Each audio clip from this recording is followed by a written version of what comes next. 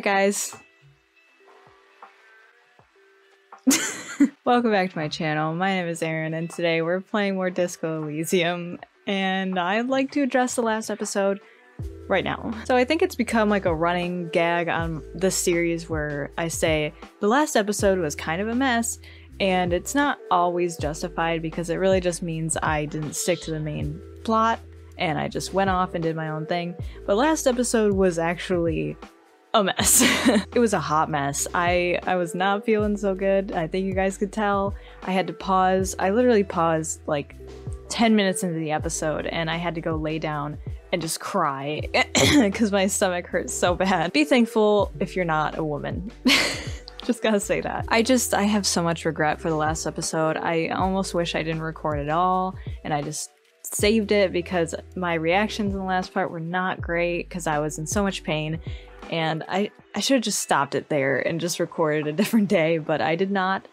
I pushed through and here we are. As much as I regret, I did have a lot of fun last episode. I have a lot of fun every time I record this game, but um I like I was so salty the whole time and I even got angry at Kim, which is rare. Um but I think I was just very emotional. I got angry because he was kind of like complaining a lot and I mean understandable because we were doing a lot of side stuff that didn't per pertain to the main reason that they're both there. In the last episode we helped out Lena and her husband Morel. We checked all of his phasmid traps because um, we he was trying to capture this mythical phasmid creature. The last trap that we checked, it seemed like maybe the phasmid had been there and ate all the locusts, but that was not the case. It was actually Kuno who broke into the trap and stole all the locusts and made a little like locust city in his shack. It was kind of cute. Seemed like Morel and Lena were pretty disappointed that it wasn't actually a phasmid. So again, we agreed to help them out and I think reset the traps is what we're doing. Either way, I like the side quest. I'm probably going to continue it in this episode and see where it goes because it's just pretty fun. Someone also pointed out that they wanted me to buy the board game in the um, the bookstore because they said it was like a cute interaction with Kim. I don't know. So I'm gonna do that because that sounds like a lot of fun. Also, I, I don't remember what else we did. The other thing we did in the last episode was finally meet up with the guy on the balcony. We still don't know his name, but when we went up there, he hardcore flirted with Harry, and that completely went over my head when I first played it. I don't know why. I think I realized it towards the end. I don't know, he was very different, he was very mellowed out, and he didn't seem bothered by talking to you know, to us because I don't I don't know why because when we first met him he was really like hesitant to even speak with us at all. So this was a huge shift in his personality and it was very strange. It's clear that he was hitting on Harry hardcore though. So that was really funny and Kim was barely keeping it together. So there's that. I hope we get to meet up with him soon because I think he has a lot more answers than he's letting on the other part was we went inside and we spoke to his Sunday friend. I feel like I screwed up that whole interaction so bad. I think there was a lot more that that guy could have told us, and I just totally missed out. I don't know what I did wrong. I don't know what I did wrong. I feel like there's something that I missed out on. I didn't exhaust his dialogue enough or something because we didn't really learn anything from him, and I was really hoping we would. He basically kind of confirmed everything that we already knew as far as like it was the Hardy Boys. I mean, it's pretty obvious. It's obvious that they did it. It's not obvious why or how they did it to me. He didn't see the man get shot. Um, he only saw them like hanging the body and that there were eight men around. Um, so that confirms the whole there were eight people there, but there's only seven Hardy Boys, so who's the eighth Hardy Boy? We don't know. I really hope there's nothing I missed that was too important talking to that guy. I hope we can talk to him again. I don't know. Uh, I just really hope I didn't miss anything. Yeah, I'm hoping that I can continue the main story a little bit. I'm gonna do a bunch of side stuff, I'm sure. I might even help Andre and his um his pals um, out with that whole remodeling the church into a a rave scene for the local youth. I might do that one. I don't know, anything that I want because I'm feeling so much better, thank God. And uh, I'm ready to get into this game again. So let's not waste more time and let's get back into this game and see what happens next. Okay, we're back. Oh my god, it's so much different recording a game when you're not in severe amounts of pain. Imagine that. What are these doing in fish? What? What are these doing in fish? Uh, okay, I got boots. Great start to the episode. Um, okay. Fran Congerian cavalry boots? Is that how you say that? Good old calf length cavalry boots. Mount that horse and ride into the night. The heel comes in handy too. It definitely makes you some good five centimeters tall. Taller. I'm only five centimeters tall, but it could be. But it could. Okay, wow. Could it be that it's also making you sharper, more perceptive to your surroundings now that you've gained a new perspective? I kind of like those actually. Um, not with this outfit specifically, but let's put on my crocodile shoes. Hello, person I don't think we've met before. Hi, officer. Oh. She's pretty. A woman in a raincoat stands on the quay, considering an overturned boat. A sword and a scabbard hangs from her hip. Okay. Anything I can help you with? That depends. Where are we exactly? A fishing village on the seashore. This place doesn't really have a name. It's sometimes called Illicible. She looks around. Why? The sign on the street leading here is illegible. Has been since they built this place. The wind rattles her earrings. Does she have, like, fishing lures as earrings? That's pretty cool. I have questions. First is, what's your name? The name is Lilienne. People call me Netpicker. I think I have time for questions. And that was actually the second one. She gestures towards the fishnets. Indeed, you're always confused as to your whereabouts. Oh, yeah. Ask her about the cool sword. Helps to break the ice. Oh. Oh, this is a person I need a signature from? Um, I'm looking for someone. Maybe you can help. I was asked to get your signature. What do you do around here? Nice sword. Is that your boat? Nice sword. Point at the saber on her hip. Does it come with a story? Unfortunately, the factory sold this one with a three-year warranty instead of a story. Hmm. it's to intimidate folks, mostly. She smiles at her own joke. Hold on, do you know how to use it? It is imposing. Nod. Isn't that what guns are for? Do you know how to use it? Not really. I know some basic moves, and I know it sure as hell beats a knife when you're in a tough spot. I guess so. She glances at the blade. I mean, it wouldn't help to actually learn. uh, it is imposing. It's a regular mass-produced sword, like a shovel or an axe. Nothing fancy, just for intimidation. I, I really like her. Is she... She kind of looks like that girl we saw in uh, that house that we took the bird from. She kind of looks like her. Why do you need intimidation tactics? From time to time, people need a lesson in respect. That's just the way it is. Back in the day, I caught the eyes of many men. and believe me, men need a lesson in manners from time to time. She adds, tittering. Uh, yes, agreed. Can I borrow that sword? Why don't more women arm themselves if it's so effective? What makes you think we haven't? the truth is that almost everyone in this life is scared and tired and stupid and too dull for that. She smiles. That goes for men too. But they put on an act for us. Pretend like everything's good and living in shit doesn't bother them. Like anyone falls for that. That does not go for real men. It does not go for you. Show her. Show her the wonder. Yeah, okay. Coach means the expression. Behold. Behold. Point to the expression on your face. I'm a proper man, believe me. True, most people I've met are scared. I'm not gonna try the expression, sorry. I. No one wants to talk about how frightened they are. But only frightened people are really dangerous. And plenty of them are dangerous. I'm not gonna ask to borrow her sword because I feel like she needs it more than me. Where are all the men now? Some went to patch their wounds, their lesson learned. Others were more thick-headed. And one of them, I ended up marrying. She looks down. Wait, why, if they're thick-headed? Where's your husband now? Sometimes it's really hard for women to find work and they need a man who has a job. and can bring in that income even if they don't necessarily love them. That's just my assumption. but that's how it was back in the day. I mean, wait, why if they're thick headed? Guess I enjoyed the way he bled. Her expression doesn't change. It's hard to say if it's a joke. If Uh, it is, then why the melancholy? where's your husband now? Gone.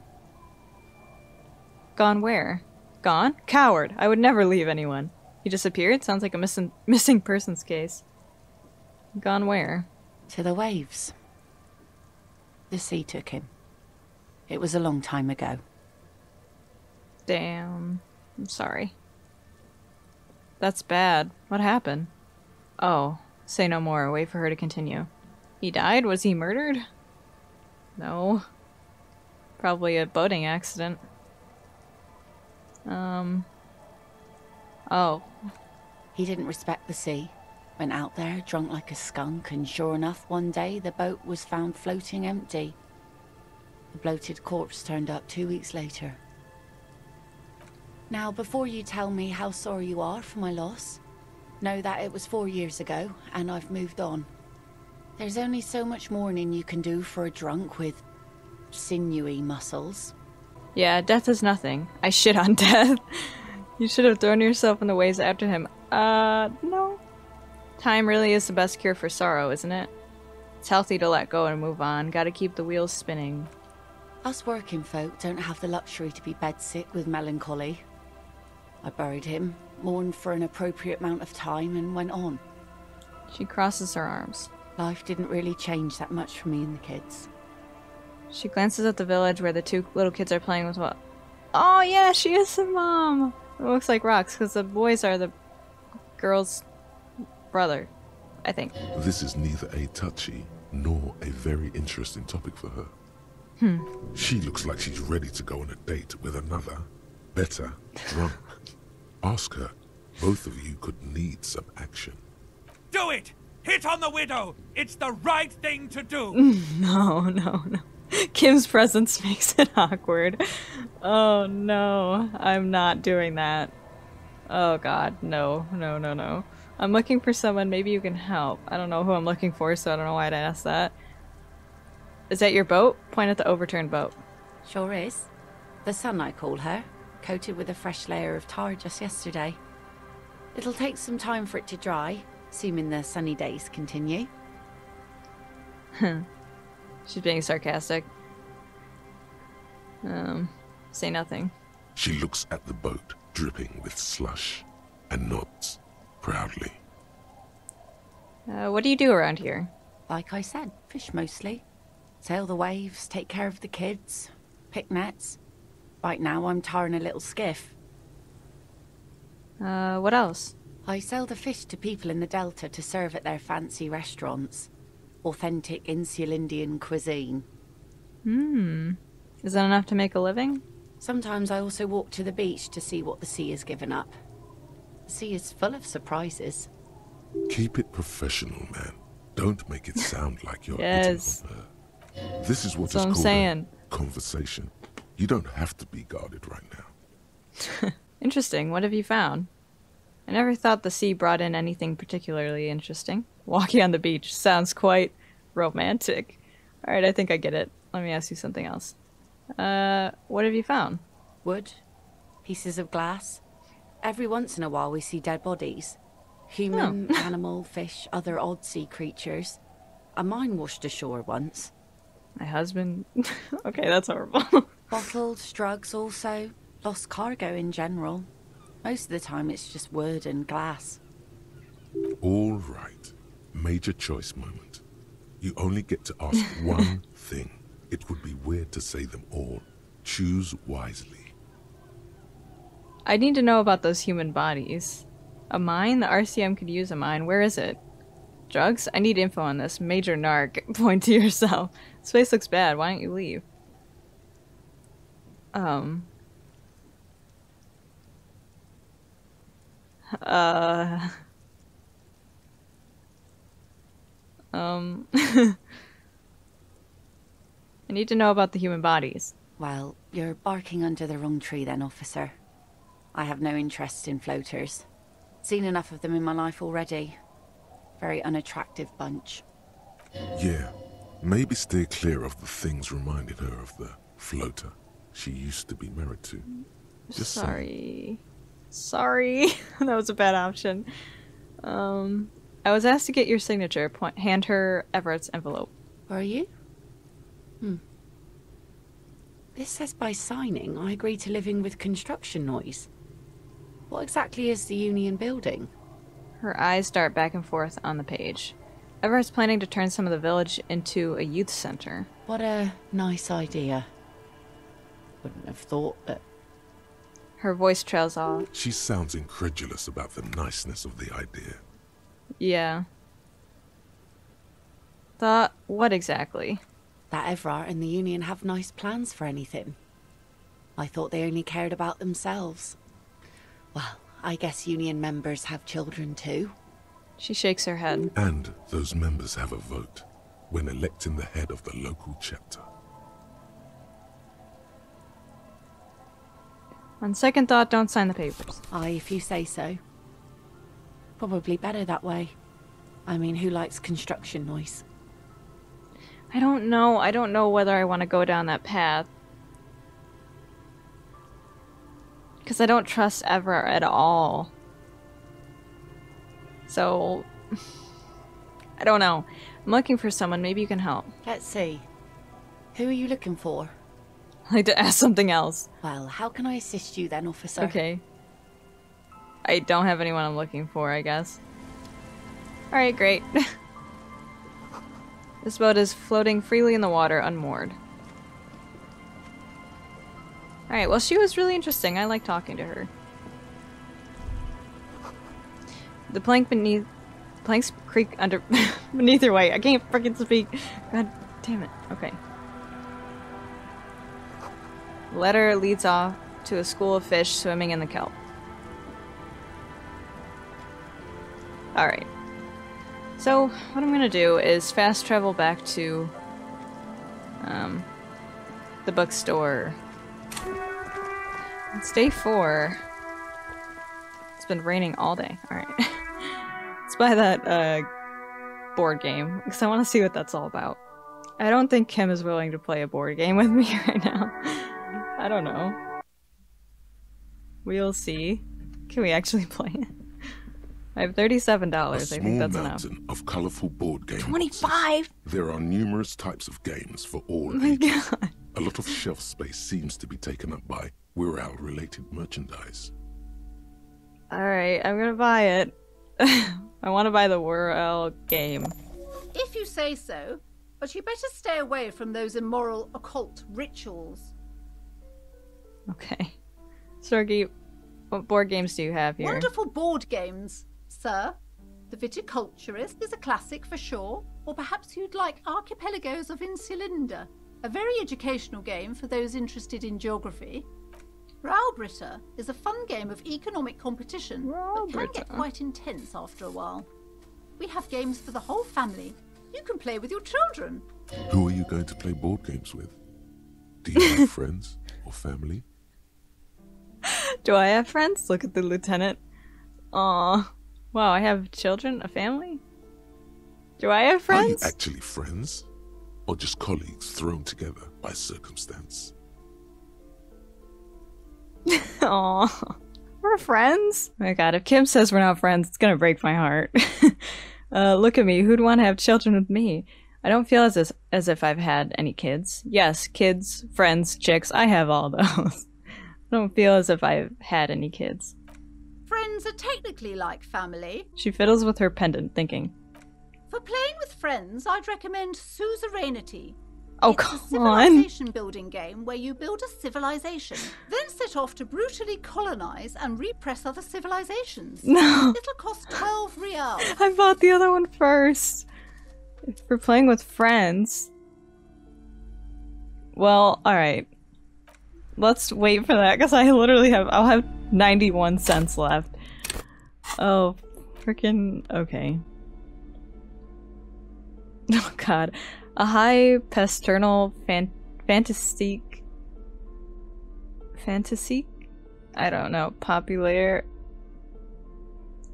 It's a board game, illustrated with something vistas and featuring odd-looking humanoid creatures. It's the third edition mega setting supplements module and can't be played without the main game.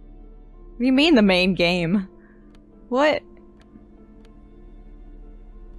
Let's see. Large letters on the front form a title. Wirral. The colorful box is illustrated with bucolic vistas. The cover art also features odd-looking humanoids. Some short, some taller, some with pointy ears, others with ephemeral wings. Examine the box. Text underneath the title in smaller typeface reads Third edition, Mega Setting Supplements Module. The side panel adds a sword and sorcery adventure board game with new maps and miniatures. Can we even play this one with him? I think I bought the wrong one. And of course it was so expensive. Shake the box. Mysterious things rattle inside. What could they be? Dice? Plastic miniatures? A fantastical alternate world full of magic and wonder? None of that witless man from Hjelmdall, fascist dross, hidden behind faux realistic allegory. Wirral is no cliche-ridden apologia for colonial violence. Wirral is pure imagination. Yes, the Wirral setting is known for its complicated system of political alignments. But if you're not into that, you can just hack your way through dungeons in search of loot. That's what most people do. Look at the back. A blurb on the back reads, Tired of the tedium and toil of modern life? Escape to Wirral. Leave behind Isolas and nations with their petty squabbles. Discard electricity, magnets, and boring technological widgets. I think this is the wrong Succumb one. to a world of high pasternal fantastique. Unleash your imagination and create an adventure of endless possibilities. Discover the terrible secret threatening Wirral. Can your band of adventurers save the world? yes, we're ready to take on this challenge. Exactly. That's the spirit. All you have to do is read an intricate rulebook, study an assortment of maps, unfold the illustrated game board, and start rolling dice. In no time, you could be romping through grasslands with low-level characters, hunted by Iskala riders, or battling unspeakable monsters in endless dungeons fraught with danger and despair, conjuring up forceful magics to aid your quest. It's basically just D&D. Don't forget heated arguments escalate into physical confrontation with your friends. and most importantly, never forget to rage quit if the dice don't go your way. Open the box. You pry open the box. Inside, you find a folded up map, a small booklet, a 24 sided die, and a little plastic figurine. Look at the map.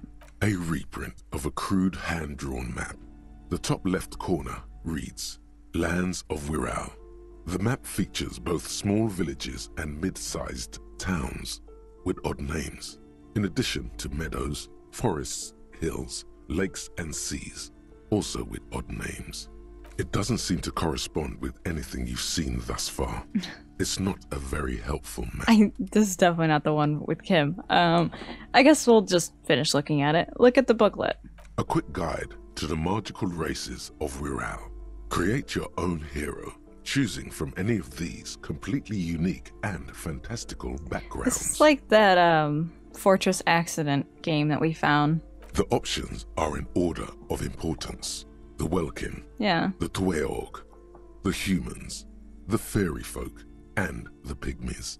Put the booklet away. You stuff it back inside the box. Okay, I'm gonna A colorful box with the title Wirral in bold letters. I'm gonna put that away because if I ever need to pass time, I'll probably just look at that again. So I'll save that. Um, here's the thing. I am gonna have no money left. Um, I guess I could sell the postcards because I don't think you really need them for anything, as far as I know. All right, I'll have 91 A cents left. small mountain of colorful board game boxes. There are Suzerainty game. Wonderful choice, sir. A wholesome family game. Okay.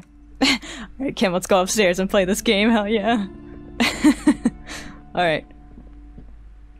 Wow, he's just taking his sweet old time. All right. Board game Suzerainty. Civilization building board game where you get to choose a nation and set off to colonize and exploit other cultures. A star shaped note on the box proclaims the game now includes completely new genocide option. Okay. In your hands, you hold a brand new copy of the game, Suzerainty. It's snugly wrapped in a skin of plastic. The cover features a charming illustration depicting a mass of grinning laborers loading goods onto a ship, while a richly dressed administrator oversees their work. Shake the box. The box has a nice heft to it. You hear the rattle Nice. of individual wooden tokens and feel their weight shifting back and forth. What treasures wait in store for you? Even before you open it, you can tell that this will be a meaty game of grand strategy and complex Oh, God. interactions. All right. Remove the plastic wrap. The plastic wrap rips off as easily as a bodice in a tawdry historical romance. Open the box. There's a hiss as the lid slides off. Inside, you find a thick, full color rulebook and more than a dozen pouches of various wooden components. Savor that new board game smell. A mix of wood, paper, and ink, Yes. all wrapped in the sweet must of cardboard. Hey, Kim, want to play? Uh, read the rule book. Welcome to Suzerainty, a game of economic strategy for the whole family. The rulebook is sumptuously illustrated and thick as a Graadian novel.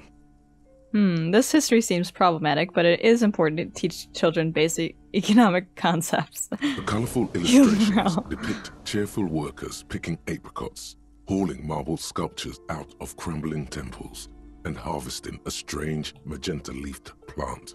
Everyone is smiling. mm-hmm. You Okay. begin to suspect there may be a political agenda to this so called family game. Surprising. Only one way to find out. Keep reading. The instructions are opaque at first and introduce many concepts you're not familiar with. Fortunately, there are many diagrams and examples throughout. You soon figure out the basic conceit. Each player represents an administrator for the suzerain of Revachol. Your objective is to increase the suzerain's wealth and renown by accumulating victory points. How do you accumulate victory points? That's where the suzerain's vassals come in. The game features four vassal nations, each one home to an economically important resource. Each turn, the player collects resources from vassals where they've placed workers. They may then rearrange their workers, fulfill contracts for coin and bonuses, or build structures back in Revachol. Okay. As you leaf through the pages, your eye catches on a sidebar labeled Advice for Beginners. Read the advice. Remember, there are many paths to victory in suzerainty, but successful players will find one strategy and commit to it wholeheartedly. Okay, how is the winner determined? The actual scoring system appears infinitely complex, with a series of tables and appendices Jeez. required to compute each player's final victory point total. You skip that part for now. Examine the components. You open up a number of pouches containing wooden tokens. There are also several punch boards with other cardboard components that will need to be punched out before you can play. Uh, punch out the cardboard pieces one by one. Each cardboard token makes a satisfying chick as you pop it out. Soon, a neat pile of cardboard coins and counters has accumulated before you. What? You're not going to offer to let me punch any of them out? Okay, alright, put the components away. Sorry. You hold the open game box before you. Hey, Kim, wanna play? The lieutenant looks over the rulebook before he sees something that makes his eyes go wide. Holy shit. the average playing time for this game is one to six hours. What? Okay. It's so weird hearing him swear. Uh, one to six hours. Jesus. Okay. I'm not sure we can afford to set aside that kind of time for a game. Come on, please. Uh, this is so worth it, though. Challenging. Convince Kim to let you to play with you. Please. What? No! Does the lieutenant hate fun? Is he the fun police? No. Who died and made you the fun police? The lieutenant gives you a sour look. He may or may not hate fun, but either way, He does not appreciate your attitude. I'm sorry. Please. What is Yay. detective work if not an elaborate game? Yes. You need logical inference, attention to detail, the ability to analyze your opponent's motives. See? Come on, it might Come on, it might help us think of more creative solutions to the case. Hmm. I do feel like my thinking has become somewhat rigid. Maybe a little diversion to keep the mind limber is just what's in order. See? Is this really gonna last six hours? See? He's doing the hard work himself. All he needed was a little nudge. Mm-hmm. Uh, all right, you've convinced me. How do we play? I read the rules already. I'll show you. You explain the basic setup procedures to the lieutenant, who seems to be a quick study. You each take your bag of tokens and counters and unfold the board between you. In the center is the crown of Revachol. Radiating outward are her colorful vessels, each one supplying some raw material desired by the suzerain. Apricots from Safre, archaeological treasures from Ilmarat, sugars from the Semenine Islands, and magenta cocaine from Supra Muindi and hmm. Saramiriza. There's also a neat little log to keep track of your progress in case you need to put the game away and return to it later. Okay, so we might not do the whole thing right now then. The lieutenant goes first. He draws a contract card and moves several of his workers to the Safre territory of the board, and the others to the Semenine Islands. Okay. All right, detective, your turn. You have a few options available to you. Will you try to fulfill contracts right away or rearrange your workers to maximize production on future turns? Move the workers. Remember what the rulebook said. You'll want to choose a strategy early Just on do whatever and Kim stay committed to it. Okay, um let your workers rest for a while. Uh, maximize production. Let your workers rest for a while. What? It's the very beginning of the game. Your workers haven't even done any work yet. Okay, make them work a little, but not too much. That's more like it. You produce a handful of archaeological treasures and a smattering of other resources. Meanwhile, the lieutenant spends two of his sugar and one of his apricot tokens to complete win. his contract card. He is rewarded with four coins and a round wooden token that he places in the center of the board. That's a market. It's worth two victory points. Glower silently. Hey, why don't I get one of those? Kim, can I do my first turn over? I think I messed up. Come on, don't be a spoiled sport. Uh, pout silently. The lieutenant returns your baleful look with a satisfied grin. You little shit. Come on, is that your game face? You're practically broadcasting your position to the lieutenant with that expression. Glancing over the board, you see several possible strategies. Pressing more workers into service would increase your economic output and help you to survive a possible conflict with the lieutenant. Or you could ignore your labor supply and focus on fulfilling contracts for points and resources.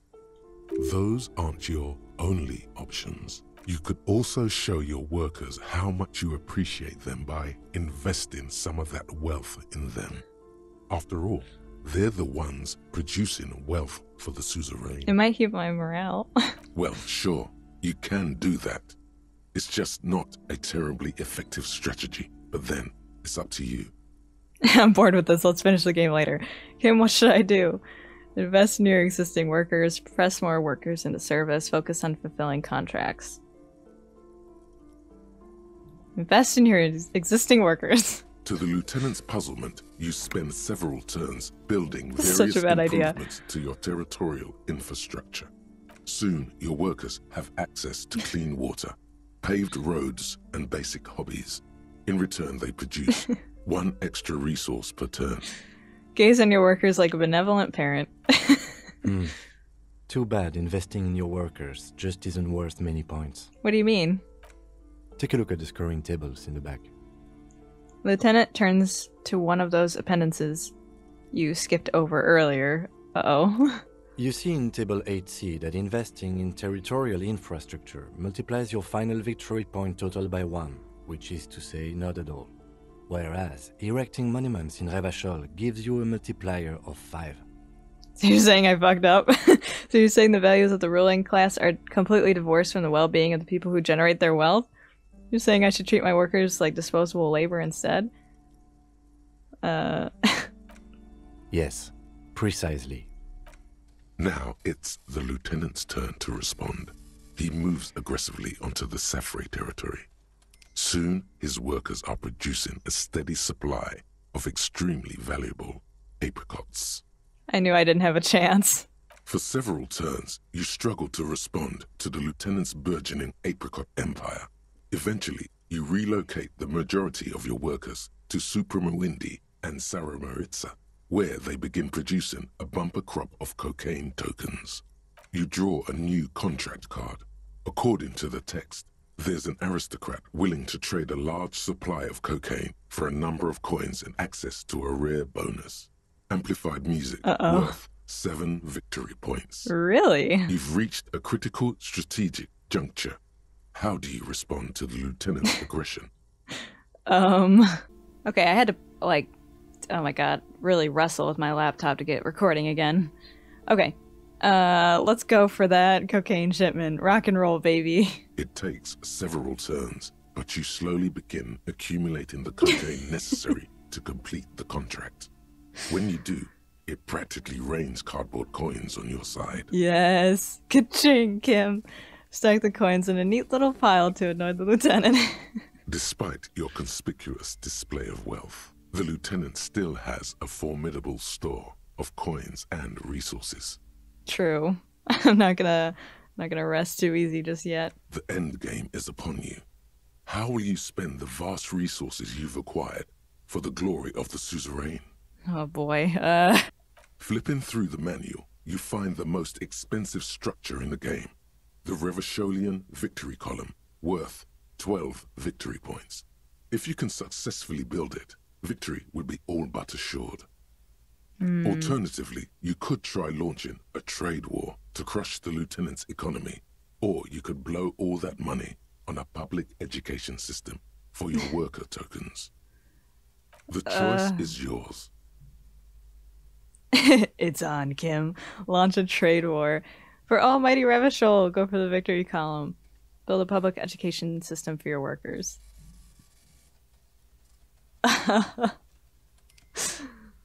um It's on, Kim.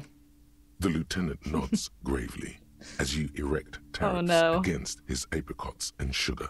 This is going to get ugly. With every turn, tariffs are raised until neither you nor the lieutenant are producing any income or Uh-oh. generating resources for the suzerain. We both lose. Yay. Even in the best of cases, it's impossible to really win a trade war. But this is far from the best case, and the lieutenant's apricot powered economic engine I crushes yours. Soon, your coffers are empty, and the map lies strewn with your worker tokens. I Damn hope it. you learned your lesson. Lieutenant says with a sharp smile. Yeah, never get involved in a trade war in an incident. Yeah, never play board games. no trade war. Never fuck with Kim Kitsuragi.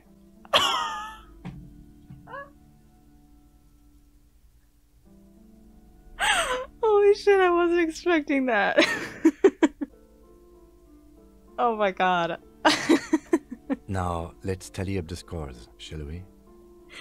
uh-huh. Computing the final scores is almost a game unto itself. You each spend an inordinate amount of time making stacks of coins, consulting tables, and struggling with basic addition and multiplication. After double, then triple checking your maths, you have your final score. Negative five victory points. You be lucky if the suzerain doesn't have your whole family executed for such a pitiful performance. Uh-huh. I've got 15 points. Oh, the lieutenant looks up from his tabulations. He says with a slight smirk on his face. Don't look too glum, detective. There's always next time. Figuratively, I mean. There's no way we have time to play this game again. Now, let's clean up and get back to work. You hold the open game box before you. You open up a number of pouches containing wooden tokens. You Right. hold the open... Can- We can't play it again. I want to play it again. that was really funny. I did horrible, but it's accurate because I don't know how to play those types of games. And I'm horrible. I've tried playing those types of games in real life and I just suck at it. Never fuck with Kim Kitsuragi. Yep. Lesson learned. Did I ever look at this? The bullet mushroomed out on impact. Did I look at it? The bullet is safely sealed away in a plastic bag bearing the RCM stamp. Kim has filled out the label on the bag with the item number, case number, and date and location the bullet was found. I don't know if I checked this. Beside his orderly handwriting, the bullet looks especially sad, like a tiny, shriveled head of cauliflower. What do I do with you, bullet? Feel the bullet through the bag. The squashed bullet has some sharp edges where the jacket has split open. It feels cold, even through the bag. What do I do with you, bullet? What? Lieutenant steps closer. I said, What do I do with you, bullet? Well, if I was the bullet, which I'm not, I would say find the weapon that shot me. Good idea. If we find who owns it, possibly to kill our victim. In conclusion, the more we know about this bullet of yours, the better. Inspect the bullet. The jacket of the bullet is made of a yellowish metal. It has blossomed out to reveal a dark grey core. The base of the bullet is close to 5 millimeters in diameter. Look at the jacket. You can just about make out a few striations near the base of the bullet. Little hairlines, linear. It feels standard. Uh, and the core? It's quite destroyed. Some of the fragments are still lodged in the wound. What can you say about the bullet so far? wow, I actually know this. It's a jacketed bullet close to 5 millimeters in diameter. A jacketed bullet. Okay. It would have been shot from a military grade breech loading rifle, not from a muzzleloader like those hmm. typically found on the streets of Martinaise. We were right. This came from a serious weapon. This was planned out. Even the RCM uses ordinary unjacketed conical bullets. This is strange. Very strange. I like this, officer. Strange means unique. Unique means incriminating. We need to find the gun that shot it. Something tells you that won't be anytime soon. This'll have to be one of those epic tasks that's open for a while. Hmm. Legendary. I'm pretty high up there, though. Try to determine what type of weapon shot this. Hold on. Is there anything I can do to up my hand-eye coordination? I do have a skill point, but I... I'm gonna save it. Unless I fail this check. Doesn't look like I can. Okay. Let's try it. Where's the bullet? Oh, here it is. Away Let's try it. In a plastic bag, a rifle. Yes. Revolutionary period. Your bullet looks to be an old 4.46 millimeter from the surplus left over from the turn of the century. Hmm. Probably an antique or a retrofitted antique. Like the one that I have in my inventory? The 4.46 caliber was widely used with the Belmargrave rifle, a Revacholian manufacturer. The BM dominated the battlefields of the Insulindian theater of the antecentennial revolution 50 years ago. The one that I have in my inventory. Incidentally, you have just such a Yeah. rifle with you. The dusty old thing you found hidden in the basement below the commercial area. It's unusable, sadly. If it were, the bullet would probably fit the chamber. Is anyone still making these rifles? No, but Zeliger, a major firearm manufacturer, ended up with a surplus after the war. So there are still a lot of these old military rifles floating around, usually broken. The quality was appalling. Who uses Belmagrov mi- rifles these days? Antiques enthusiasts, guerrilla fighters in distant countries, a few lucky jamrock bangers. You're looking for the same thing you found in that hidden weapons cache, only in working order. Hmm. What are you thinking? Bullet? Lieutenant jots something down in his notebook. I think I know where this came from, dangle the bag thoughtfully. Okay. And? The shot probably came from a Belmagrov rifle. I mean, I have some ideas, but I can't be sure. That's just teasing him at that point. An antique. That makes sense. There can't be many breech loading rifles floating around in Martinaise or anywhere in Revachol, really. That's probably a good thing. I have to hand it to the monarchs. It's quite admirable that they took the advice of criminologists last century and banned the use of breech loaders in peacetime. Some new RCM recruits get impatient with their muzzle loaders once they've trained with military grade weapons, but they realize it's worth it in the end. Uh, worth what? Getting shot? I think we should have more powerful guns. We're the law. Makes you consider every shot. I like it. Imagine if everyone, cops, citizens, had access to firearms that could shoot multiple rounds without pausing to reload. After the first shot, the second, third, and so on come much easier. But back to the investigation. Seems like he has a lot of experience in this. Seems like we're looking for an antique enthusiast. Could the victim have been mixed up with some foreign guerrilla fighters? Well, have well armed Jamrock bangers started crossing over into Martinaise?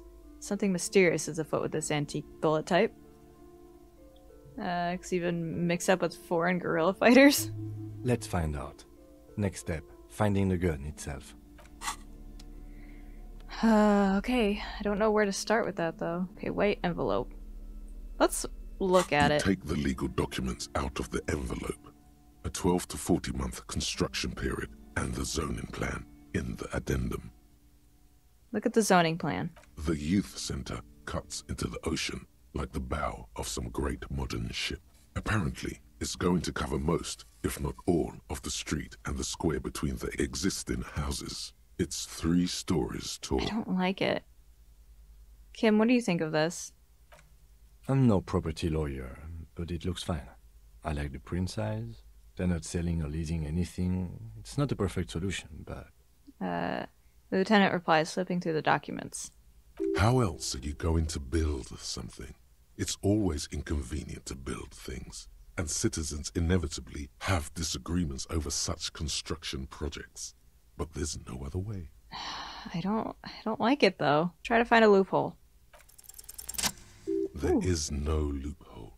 The simple truth is the current residents are going to lose their street access, and for the next 12 to 40 months, their lives will be dominated by constant construction noise right next door. Wait, what are the ramifications of this? Look at, look, Kim points the photocopy. These people are going to have to move away. Can we do something about it? The noise will be tough on the villagers, but I guess that's just the cost of progress. What are the ramifications of this? Once the construction starts, it'll probably take a few months, a year maybe, for even the most stubborn occupants to get tired of living like this. After that, they'll sell their property for cheap and move out. These people are going to have to move away. I should have seen it. The lieutenant frowns as he reads over the document again. Evrart probably has eyes on us, but we could try to get other people to sign this instead of those listed. Or you could forge their signatures yourself. By the time he finds out, we'll already be gone. Hmm. Uh. By the time he finds out, we'll be gone. Commence a forgery. Alright, Evrart's people could be watching you here. Let's put that away for now and figure out where we can go where he won't be watching us. What about in here? I just don't like the idea of doing it for him. I don't trust him. Let's see. You take the legal documents out of here? the envelope. What? A 12 to 40 month construction period and Alright, okay. Let's go somewhere else. Alright. Let's go somewhere you probably can't see us. Forge somewhere private where you feel safe enough to sleep. I know exactly where that is. Alright. Let's try let's try it. Uh, Fisherman's Shack. God, if only all of them loaded that fast. Alright. Let's try it. I've won a bunch of checks though, so I feel like I'm gonna fail the next one. If that's the case, I'll just up my uh, my uh, skill point there and see if that helps. Because I really don't want to have people sign it, but I don't know if I'll be able to, like, um, progress if people don't sign it. You know. Okay, I think it's interfacing. you take the legal documents out of the envelope. Okay, interfacing. Let's see what I can wear. Is that it? That's it? Ugh, okay. We'll try it. You take the legal documents out of the envelope. A 12 to 40 month construction period and the zoning plan in the Oh, it's a red check. Fuck. I just I just noticed that. Okay. Mmm.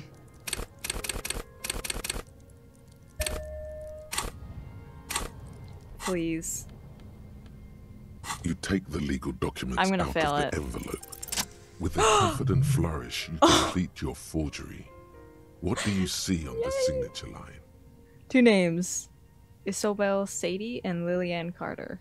Indeed, they look distinctly different and very convincing. These might as well be their actual signatures. But they're not. The document will be nullified if they dispute it. That means Evrart will have to start over. All you need to do now Yes. is mail the signatures to Evrart's accountant in La Delta. Yes, I'm so happy. I'm so happy. I thought I would fail that one for sure. That just means I will definitely, definitely fail the next check. Alright, so now that we've changed that, let's travel back and mail it. Okay. I think I have to talk to the little mailbox. In the morning light, the white on blue police livery on the motor carriage cannot but catch your eye. Wait, why am I even thinking about this? Wasn't I supposed to. Do something important? something murder related? There's always something important. Doesn't mean you can't take a moment to admire this piece of machinery. Even at a standstill, the unibody Coupris Kineema looks sleek and dynamic. Yes, The it cabin does. is tilted frontward to give it a more aggressive, hunched look. Someone has waxed it recently. I wonder who. That machine really puts the loco back in locomotion. Point to the vehicle. Very cool. I don't like your machine, Lieutenant. It looks impractical. Oh my god, that would hurt his feelings so bad. Shrug. A motor carriage. One of many. Actually, motor carriage. Motor carriages don't interest me. The machine really puts the loco back in locomotion. Mm-hmm. You want to take a closer look? Yes. The lieutenant smiles ever so slightly. He's so proud of it. What's it packing in there? Wait, what? What's it packing there? I point to the engine.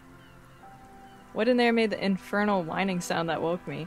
A fine machine. Run your hand over the smooth metal surface. I feel like I shouldn't touch it. What's it packing there? 130. I reckon that's a 7 litre V12 there. Let out a whistle. Mama's serving some serious macaroni. okay, not gonna say that. That's what? Rub your chin. 7 liter V12? Sure. 7.2. Supercharged. And the lieutenant is trying to suppress a smug smile, unsuccessfully. Saying these words brings him immense joy. Uh, what in there made the infernal whining sound that woke me? You mean the coil noise? What is coil noise? When variable current passes through wires that make up the coils on the electrical system on this machine, it causes vibration in the wires and the cores of the coils. When the frequency of the current in the coils falls within the audible range, the resulting vibration creates the whiny sound you mentioned. Hmm. What a binoclard. Shut up! Whatever you do, don't make fun of the lieutenant for No, explaining it's this so to you. mean. That's horrible. If I said that, I I could not ever face him again. Wow, how do you know all that? hmm that's exactly what I thought. How do you know all that? I have pretty much maintained my vehicles by myself ever since one was assigned to me. You inevitably pick up some knowledge on the way. Yeah, but he really enjoys like the engineering side of it, I think. There's pride in there. A trained driver knows his ride. A fine machine. Run your hand over the smooth metal surface. Yes, an extraordinary machine. There's a gentleness in the lieutenant's voice as his eyes run over the vehicle's contours. It's nice and all, but why so modest? Put some zing into it. Flare it up. Slam it down.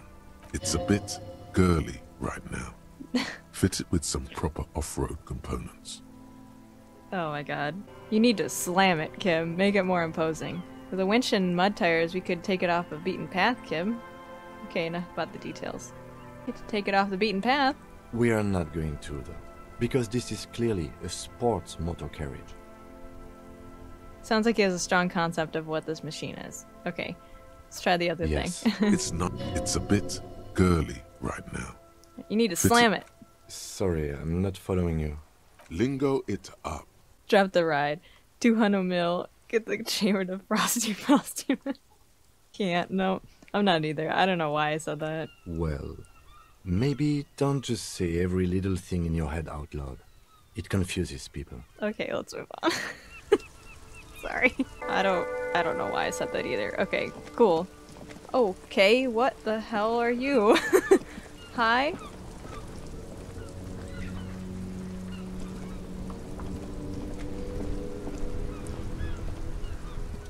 That's one brutal motor carriage. Piss that. That's one brutal morning. Okay. Says a young man with piss bad word written on his back. If I were a real skull now, I'd jack it, paint it in palm tree livery, then bottom light it, neon style. His companion wears a simple yet elegant slogan, fuck the world. Um Kid's gonna get mad. A snazzy, shit-ripped skullmobile like this would make a fine trophy. We could, like, hang fucking shrunken heads from the side mirrors. Cops' heads. Scary tribal shit. Yeah, Uh. tribal shit. A cop carriage like this would have proper skull value. While I appreciate the interest you take in my brutal motor carriage, I have to stop you right there. The RCM takes threats directed at its property seriously. He steps in. He is going to kill them. I, um, it's just theoretical work, Copper. No basis in reality. Man, if we were certified skulls right now, he turns to his companion. Who are you? I can tell you who we're not, cop. We're not snitches or skulls. Okay. which is not to say that the skulls are bitches and. On the contrary, The part of this presentation you want to take home with you, cop man, is we're not part of the skulls yet. Okay then, let's indulge in some intellectual exchange. These young men seem eager to share their beliefs. Okay. Uh, do you guys know Cindy the Skull? That's what I was thinking. Who are the skulls? You don't know? what kind of cop are you? It's not a question. I'm Let's so glad you so glad you asked. Of course I do. I'm just testing you boys. No, I really don't. the skulls are the most vicious gang of the Besmertne. His voice rings with excitement. The nastiest bunch of psychos ever. Jacking carriages and getting into high speed chases. Possessing an infinite amount of fuck all swagger, infamous for their nonverbal modus operandi. Nonverbal? If a skull spots you, he will pull out his dagger and stab you without saying a word. The lieutenant's Oh. voice is as calm as usual, a testament to the violence and death he's witnessed through the sight of his firearm. Yikes. They usually occupy the burnt out quarter in Jamrock, or you can find them loitering around the brightly painted bottom lighted vehicles. Ah, I can't wait to become a skull. Bottom lights are wretched aggressive. Do you know anything about the murder that took place there? Point to the yard. You guys know Cindy the Skull? Oh, yeah. Cindy's a right proper skull. The young man's eyes glaze over, his voice filled with longing. Yeah, a true artist of the future. Just like Arno van Eyck. They like her? The other guy lights up too. Uh, by the way, if you see Cindy, give her our regards. He adds, returning from whatever void he was just visiting. For all their nihilistic posturing, these young men are not lacking in youthful idealism. Odd, there isn't a hint of hate in them. It's like they're piss and fuck the world out of some kind of moral obligation. The lieutenant on your left is unusually lenient toward them. Hmm. It's interesting. They don't seem like that bad of dudes, though. I see you kids are into anodic dance music. Why aren't there more skulls in Martinaise? Your rhetoric is confusing. Are you part of skulls or not? We're not franchise skulls. Well, not yet. Once we get our name out there, we'll have a chance to join them. And what makes you think the organization would accept you? Because we can be just as psycho and vicious. You'll see. Ah, you'll see for sure once we're in. It's the last thing you'll ever see before the void consumes you. Throw him off his game. Are you implying I might be in some sort of danger? Are you sure a skull would say that? Uh, well, yeah, I mean, we're only saying practice things for now, so we don't mean no harm to the Skulls brand, or to you. This is definitely something the Skulls would say. But we're not trying to encroach on the Skulls branding anyway. On the contrary, we're just here to market it. Hold on, why does a criminal gang need marketing? So you're just pretending to be nasty and vicious as the skulls? Hey, we can be just as hard. Like pavement on top of pavement, or a brick on top of another brick. Yeah. Or a grave on top of a grave. These kids have the vocabulary, but might be missing a brain. oh my god. Wouldn't a grave on top of a grave be just a big hole? What's hard about holes? Filling them up, baby. It's always funny when my the different parts of my brain interact with each other like that. I see your kids are into anodic dance music. Oh man, yeah. We're not fucking kids, man. He exclaims and stops himself, processing the rest of your question. Be wary of the abyss. His blonde friend adds ominously and points to his temple. Why? Probably because of how non-verbal their mode of operation is going to be. It's a threat. The lieutenant answers for the two rebels. A threat? Good, I like those. Don't fuck with me, boys. I'm one of the bad cops. I just wanted to talk about music, and now there's a conflict of all. All of a sudden, it's too much. Nervously shake your head. Uh. None of these are good options. Threat? Good, I like those. But I don't. In fact, I dislike them so much I'm willing to drag you boys back to the station just to calm myself down. Okay. Lieutenant interjects quickly. Hey, uh, there's no need for that. We're just talking here. Joking, too. Stay light, man. Yeah. Didn't you cops, like, have some questions about skulls or some shit? Why aren't there more skulls in Martinaise? The Union does their share of policing in Martinaise, at least where gangs are concerned. That's why there isn't much organized crime around here. Lieutenant replies instead. Apart from the unions themselves, of course. Yeah. Don't you worry about that. We're gonna make up for the deficit.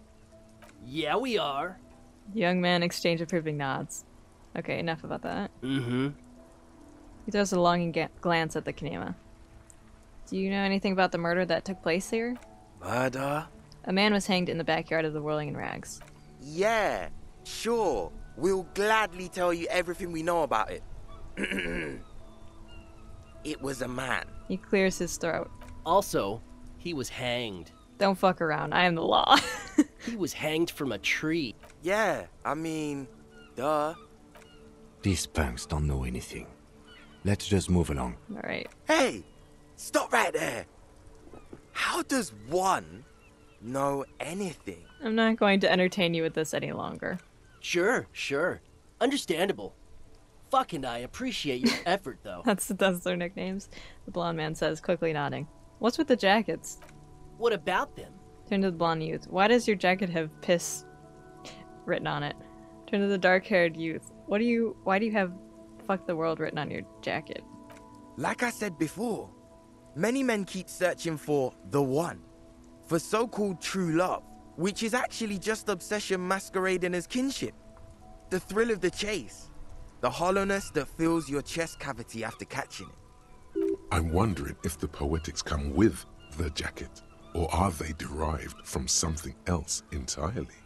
To catch a fish, you'll need to hurl the lure many times, and even then, it isn't certain that you'll get anything. If you blow up the lake, though, It's a terrible metaphor.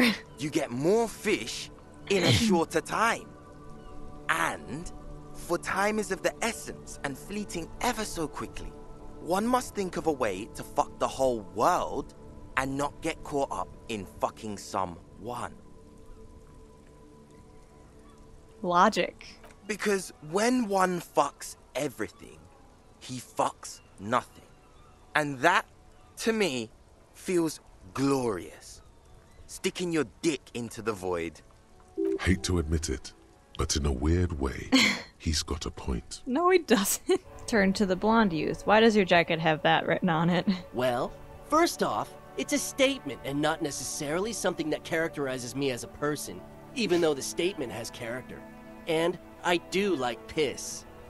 The word piss epitomizes the struggle taking place in the world. Things being defined as they seem, not as they are. And, I guess, it's also about communal spirit, the future, and truly appreciating our differences. Uh huh. Also, you've got to admit, it catches the eye. And since the Grand Piper is slowly but steadily moving towards basing the economy on it, attention, it is imperative that the medium itself convey the message. Uh, what? What I mean by this is, we are all piss and that the world is inherently meaningless. Is it a coincidence that here we have two badass jackets and two badass cops? No. no. We don't need them. Hey, Kim, lower your voice. Yes? Do you think it's a coincidence? What is? That there are two of us and two of these jackets? What are you implying? Lieutenant looks confused. Which one would you wear? you know what I'm implying. We should get those jackets. Which one would you wear? I'm not sure I understand you, detective. Are you more of a piss or a fuck the world kind of guy? Neither. Come on, Kim, it's just a mental exercise. Fine, if only to end this discussion. Theoretically, if I were a juvenile delinquent, if I were to already be down that path, I think peace is the stronger of the two statements. This episode has opened up a whole new level of Kim. No way, if anything, I'm the piss in this scenario.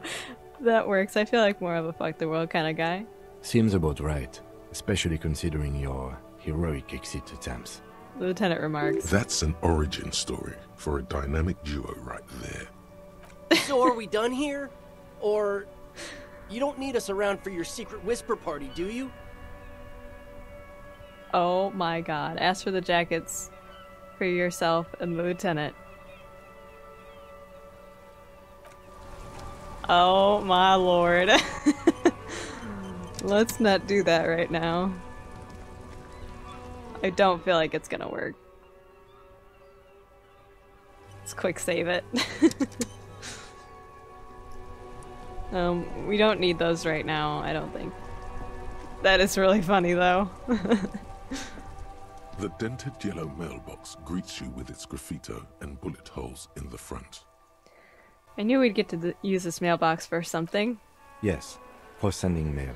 Exactly. Drop the white envelope into the mailbox. You drop the white envelope in the darkness. It lands with a soft thud on what sounds like a couple of letters. About a week's worth of mail as collected in there. They'll empty this very soon.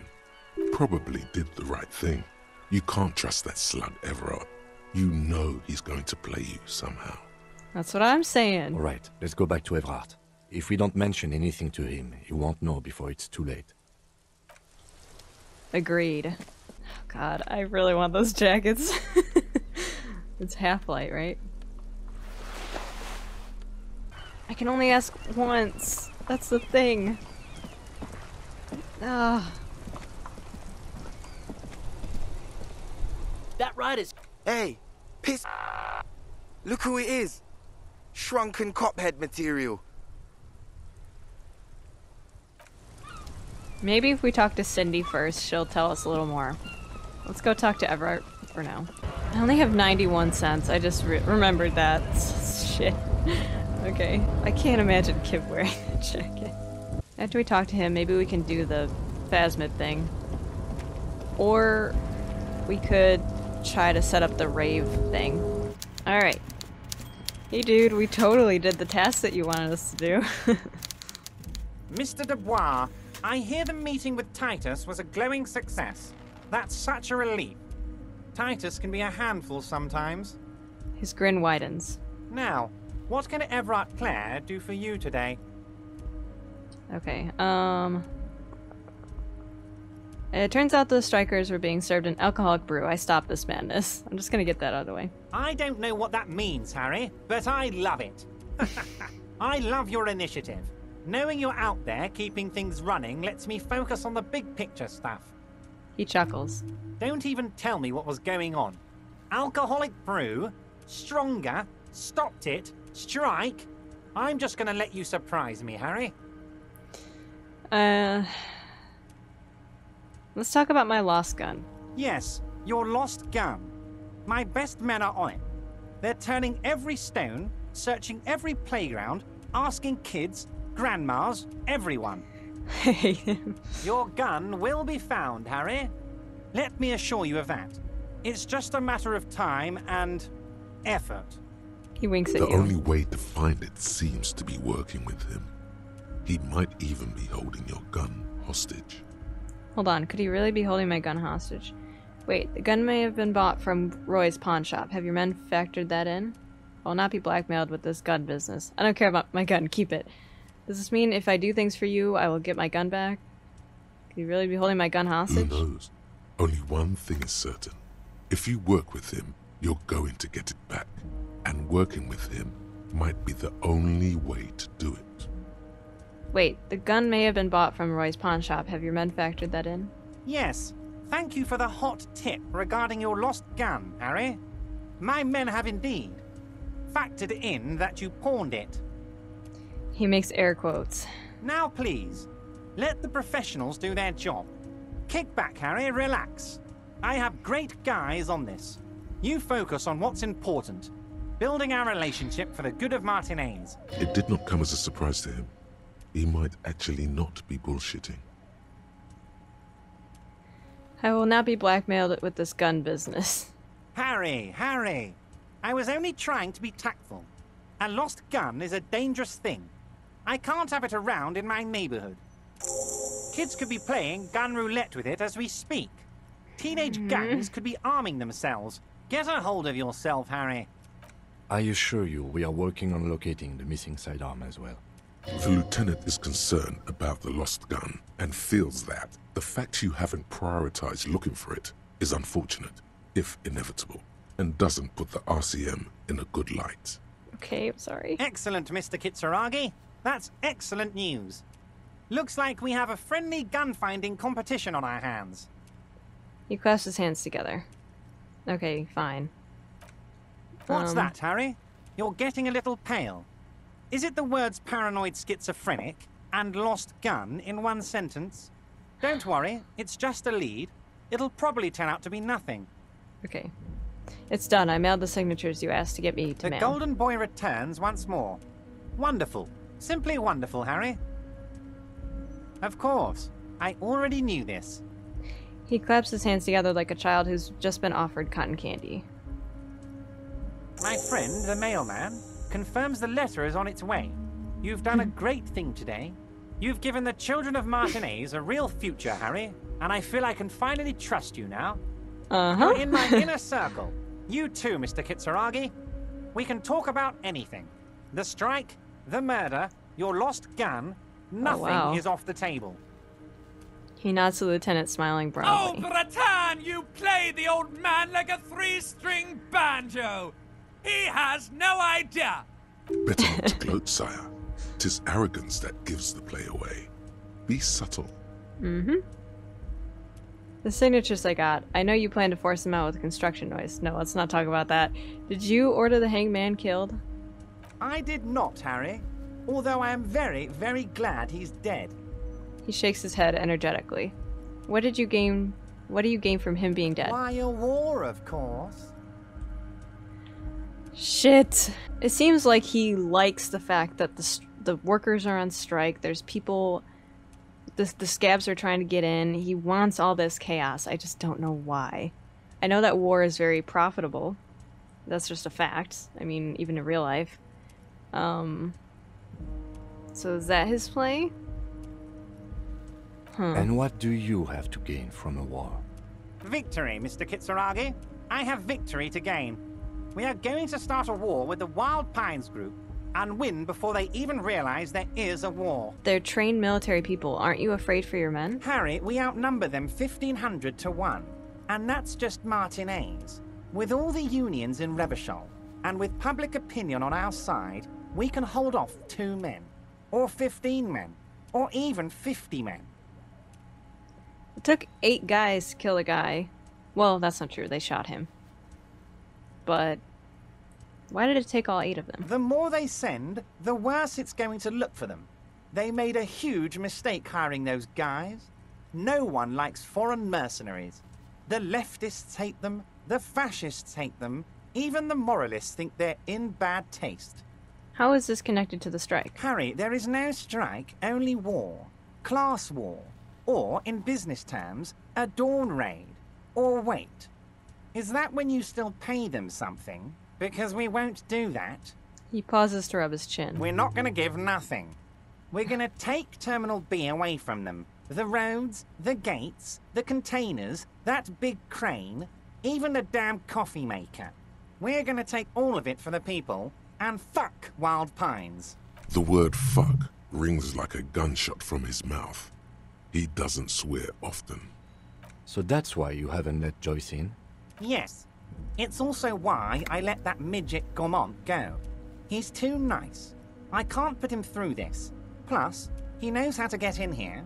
That woman can't tell her tits from her asshole. She has no chance. Gaumont? Midget. I don't know who he's talking about. What? Tits from her asshole. No, uh, not- It's a local saying. Not that. Actually, no, it's not. Why are you telling me your plans? Because we're friends, Harry. Besides, it doesn't matter now. You can go tell her if you want. It won't change the course of events. We have a significant head start. It's already happening. He looks at the swordfish clock and nods. I don't know how to feel about this. I don't know what side I'm, I've even chosen yet. Um. How many guys.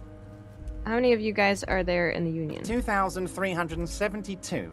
Plus yours truly, of course. He replies with like a whip. 2,373 is a sizable contingent for a labor organization in Revachol. And they're all well motivated, at least the ones you've seen.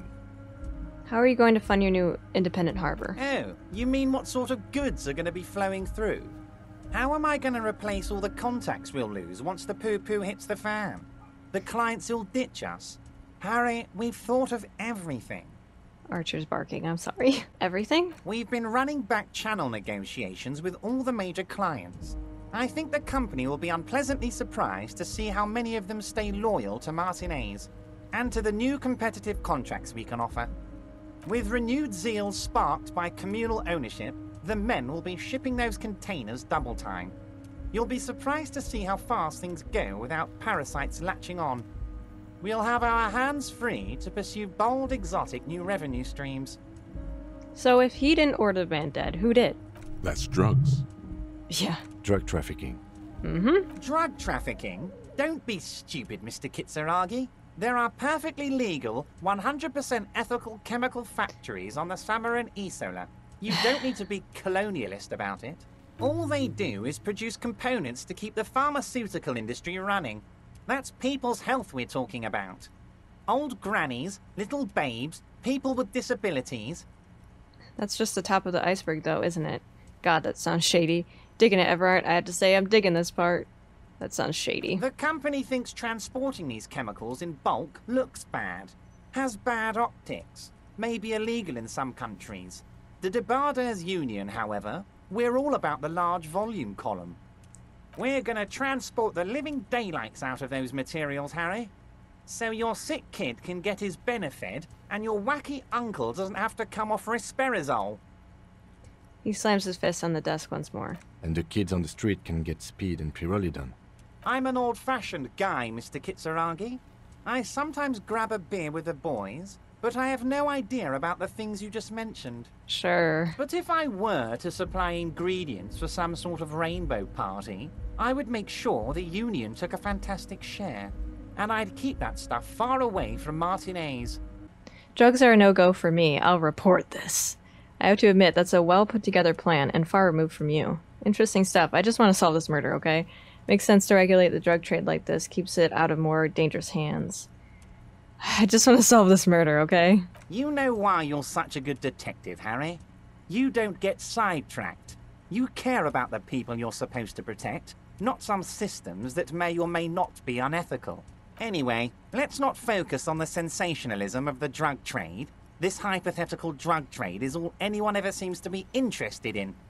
It would only be a small part of the harbour's turnover, just like the harbour is, but a small part of Martinaise. It would still be illegal.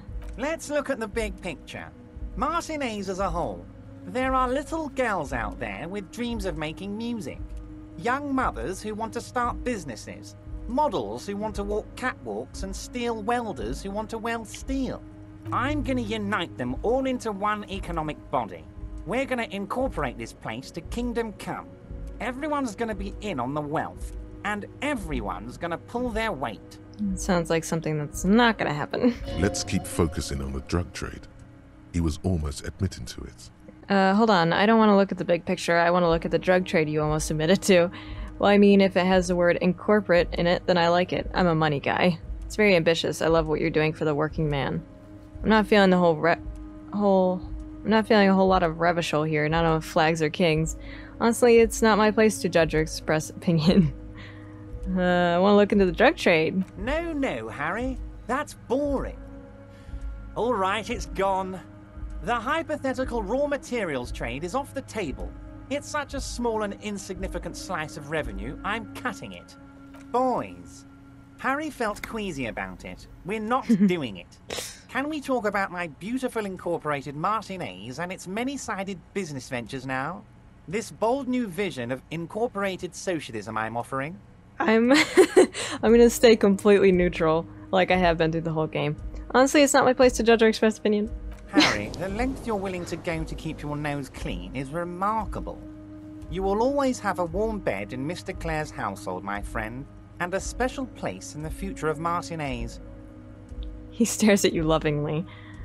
Um, can I ask about specific union members? Can I get my gun now? Harry, I've got to be honest with you.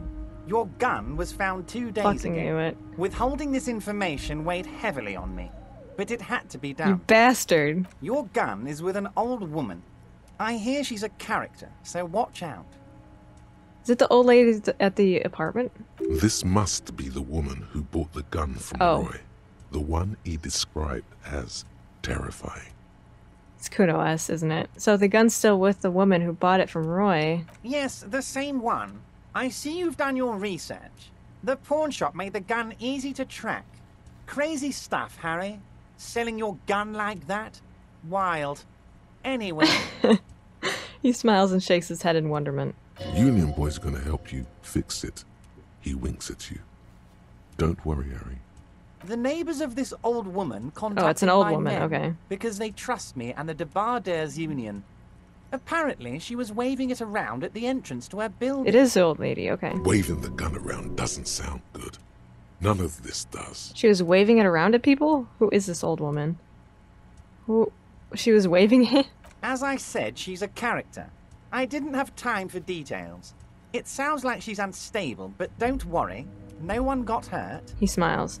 It sounds like a very disturbed and desperate individual. Who is this old woman? Unfortunately, I don't know anymore. You're gonna have to go in blind, Harry. But she's an old lady. How dangerous can she possibly be? Oh, and she calls herself the Pigs. This doesn't make any sense. There it is again. The pigs. Like Roy said, not good at all. I, for one, find it refreshing. Finally, someone calls themselves a pig. A smile flickers in the corner of his mouth. It actually sounds extremely bad, but let's not give him the satisfaction. Can you set up a meeting? I already have.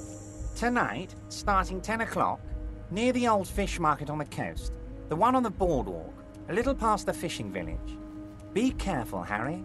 I would never set you up for anything dangerous, but you did ask for this. Now, back to the fun stuff. He claps his hands. She will be there from 2200 hours till 0200 hours. More fun stuff.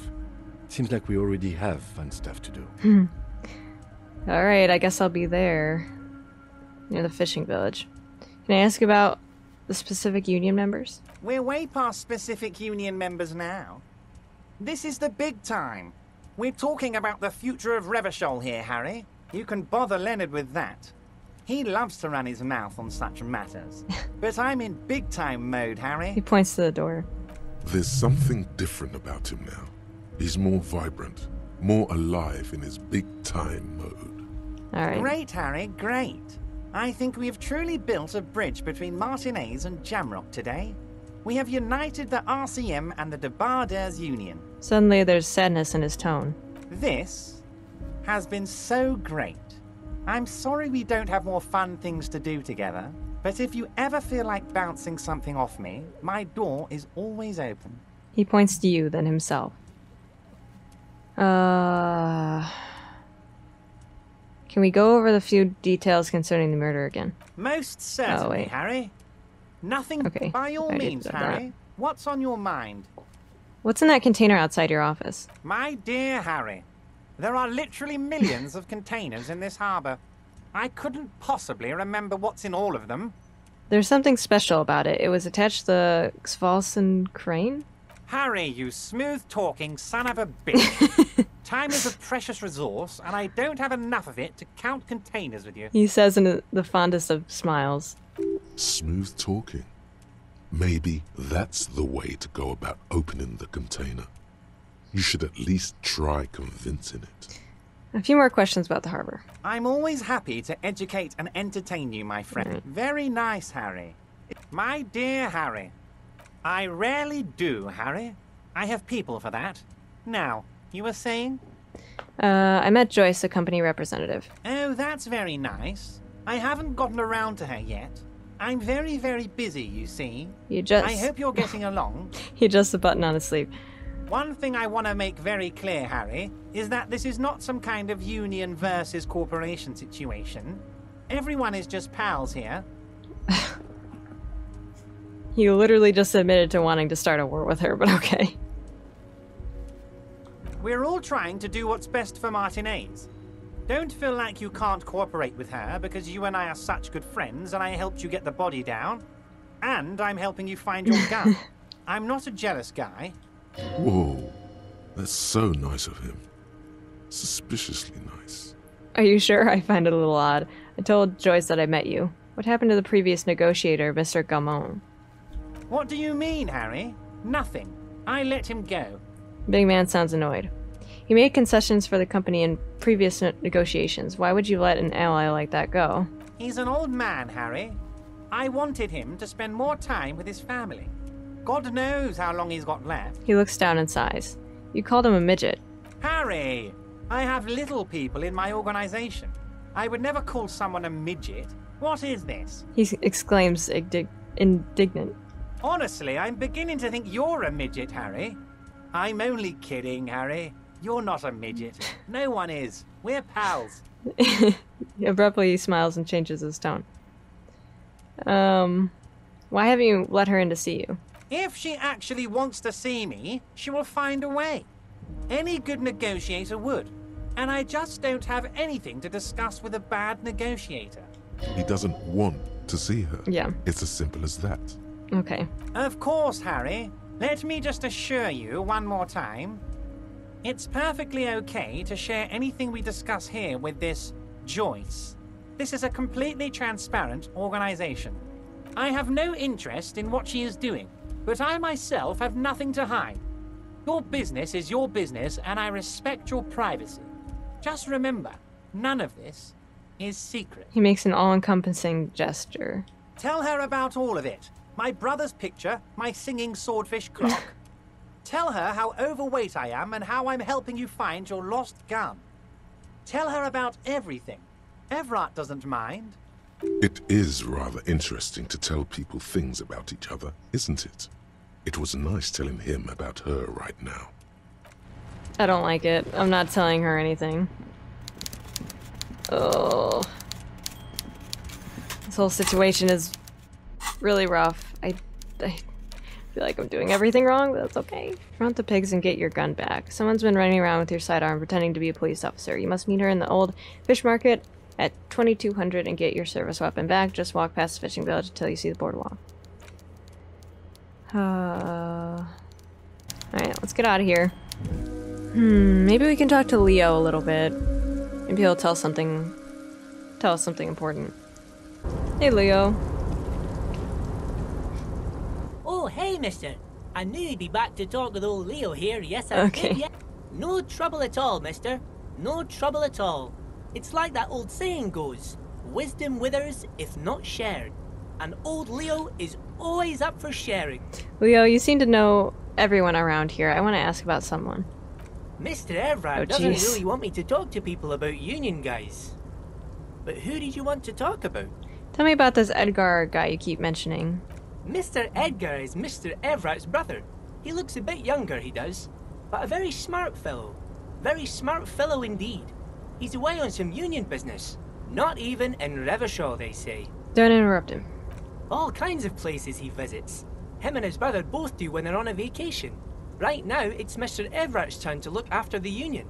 But last year he spent a whole winter in South Africa. He chuckles. Left with the first autumn rains and didn't come back before the trees were green again. Okay, tell me about Manana. He's a union man through and through. Good guy. He's very calm, laid back, doesn't do much, talks to Evrart sometimes. He falls silent, hesitating. Honestly, I don't know what he does for us, but it must be important because everybody likes him. Yes, they do. I think that's what he does. He makes everyone feel a little better. This guy is painfully innocent. Oil for the wheels. Much needed in stressful times like these. Tell me about Measurehead. Whoa, he's really something. he doesn't talk much to me usually, but when he does, I don't really understand most of what he's saying. Actually, I don't think he would like me running my mouth about him like that. he suddenly falls silent. Once he said he's a dragon to this mob fellow who came picking a fight with some union men. I think he really believes Jean-Luc was a dragon because he ran right off. Another time he almost killed another guy, but I shouldn't talk about that. Uh, tell me about Titus. oh, Titus is a longshoreman through and through. He was born on a boat, they say. His veins are probably filled with salt water, I tell you. nice, friendly sort old Titus is. sure. The little man rubs a patch on his elbow. His veins. Oh, we already said that. Uh, tell me about Evrart. Uh, I'd best not. I mean, I could, but I don't think Mr. Evrart would like it very much. You better ask him yourself, mister. If anything, the ever present smile on Leo's face gets even warmer. Tell me about Renee. The Night Guard. Ooh, he's a peculiar fellow. He's the strong, silent type, you could say. Leo looks at the guard booth on the wall. We talk all the time, but I don't really know much about him. He plays petanque with my old human studies teacher, Mr. Martin, down at the plaza. Mm-hmm. I think he's the only fellow who actually knows old Renee. They lived on the same street their entire lives, even dated the same girl on and off for as long as I can remember. Strange fellows. Mr. Martin was always real nice to me in school. I remember once. Hold up. Gaston was your human studies teacher? Mr. Martin, yes. Don't really remember much about him. I was just a boy back then. Aw. Okay.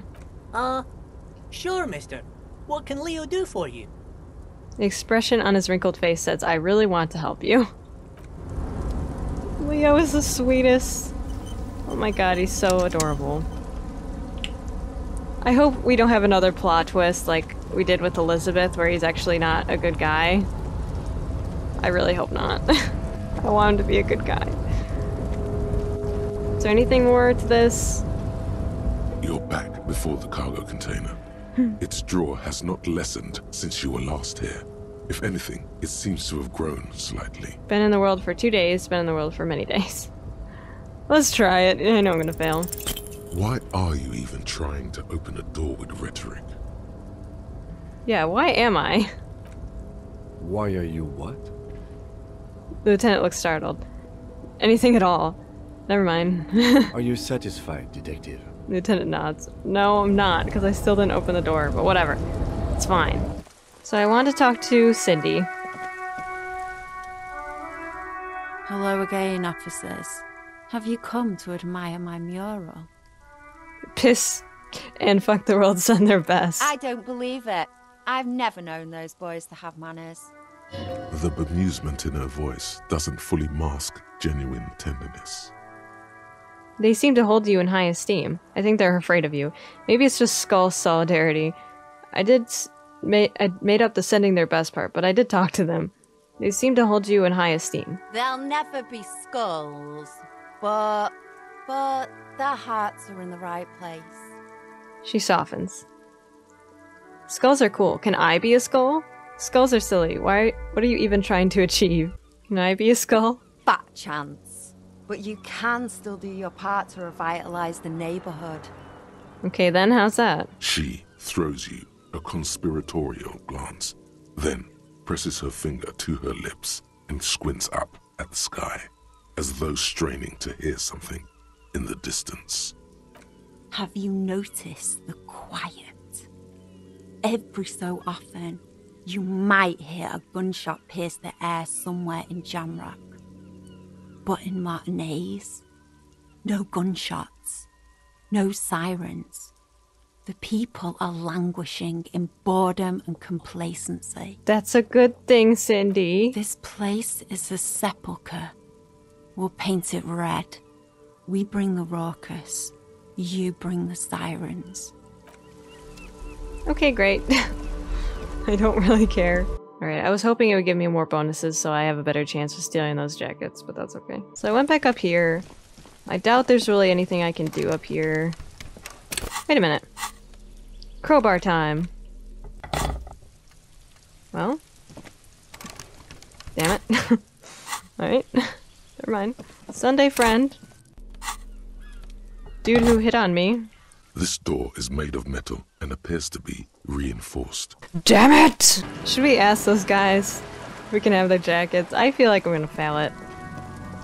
If, if I fail it, I fail it. You know, I don't. I don't need the jackets. I guess. I have to upgrade a half light. Threaten people.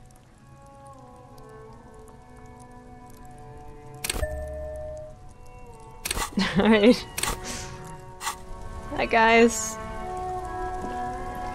This is not gonna work. That ride is fucking lightning. Hey, piss. Look who it is. Shrunken cophead material. No, no, no. Don't ask anything. Be subtle and scary. The boys dream about being skulls. Use that. Wait, how? Suggest their massive skulls. Come on. Boys with those with those skull jackets, you're gonna be skull kings in no time. What? No. Skulls don't have kings. I think. And we're not even in yet. Yeah, man, keep your voice down. Skulls don't take it lightly when folks pretend to be them. We're not even prospects yet. Prospect must be a hierarchical term. Raise your voice. In the lower end. Oh, I keep speaking over him. I'm sorry. I'm just excited. Raise your voice. Not even prospects and already aspiring to be kings? Wow, you boys are ambitious. Only prospects and already planning a coup in the skulls. You are destined to go far. Lieutenant's voice rings over the plaza. He gets it. Passive aggressive flattery. Shut the fuck up.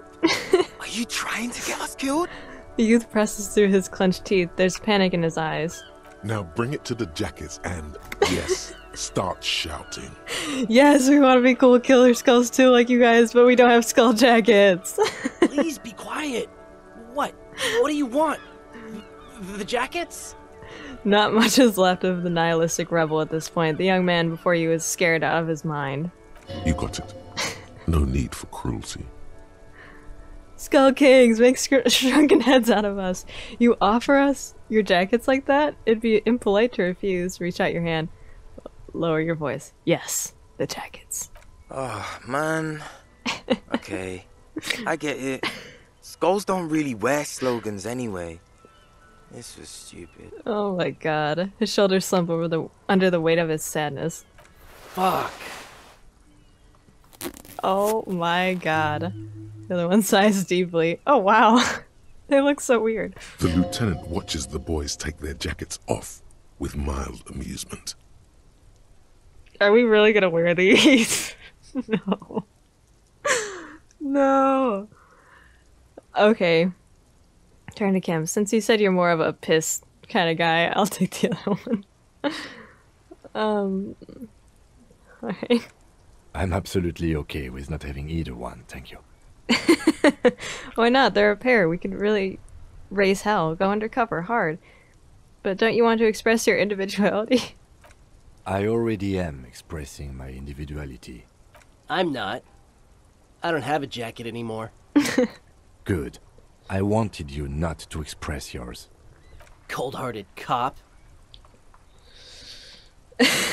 I wasn't really expecting Kim to wear it anyway. Well, whatever. I'll take both of them then. Still, it's good to know we have a pair in case the need arises. The need will not arise. Yes, I will. The jackets are meant to complete each other. If a man was standing alone on a street corner with piss written on his back, it'd just be an individual that has taken a liking to urine. And fuck the world all on its own is, frankly, generic. I don't know, Eric. It's cold out. Eric, the dark haired young man, just stands there defeated. The wind blows. Yeah, let's get out of here. The cops fucked us. Oh well. okay. oh my god. No fucks given. Okay. Oh my god. The leather jacket that quite recently belonged to a young man who possessed some intimate knowledge on the human condition has his nom de uh, whatever that word, is written on the back. It's quite a statement.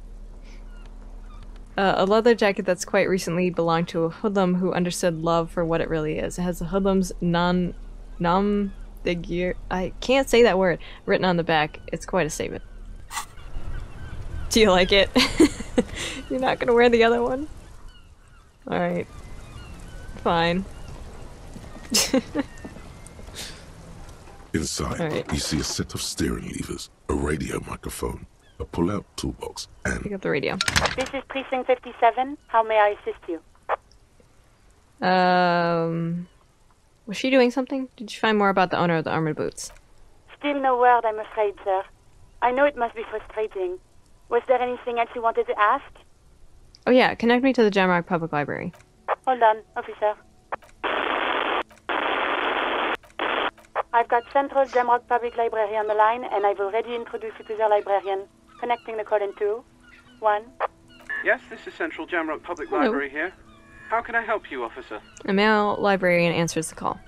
he sounds worried, yet ready to assist. This is how people get when the police call. True. I'm looking for any information that you can provide on Billy Mijon, a reader. Billy. Billy Majon, you said. Give me a moment. I'll have to check our database. He puts down the receiver. Yes, hello. Are you still there? I found Billy Majon's home address. Is that all right? No phone number, unfortunately. You can hear him fiddle with the printout. Dress is good enough for me, dude. They're too poor to have a phone line. Yes, home address is fine. Here we go, sir. Rue de Saint-Ghislain, 33B, apartment Oh. number 20. It's in Martinaise, I believe. Capeside Apartments, it says. That's all. That's where the smoker on the balcony lives, Hmm. isn't it? Do you have any other information on Billy Mijon? It says here that they returned their last book just a few days ago, but I wasn't at work that day. Do you know someone who was? Marie? Marie? Do you remember a reader named Billy Majon? They returned a Tybalt book the other day.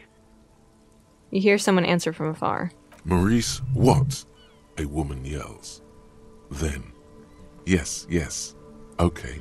If it was the police, She starts she explaining. starts explaining something. Why do I think it's my turn to talk?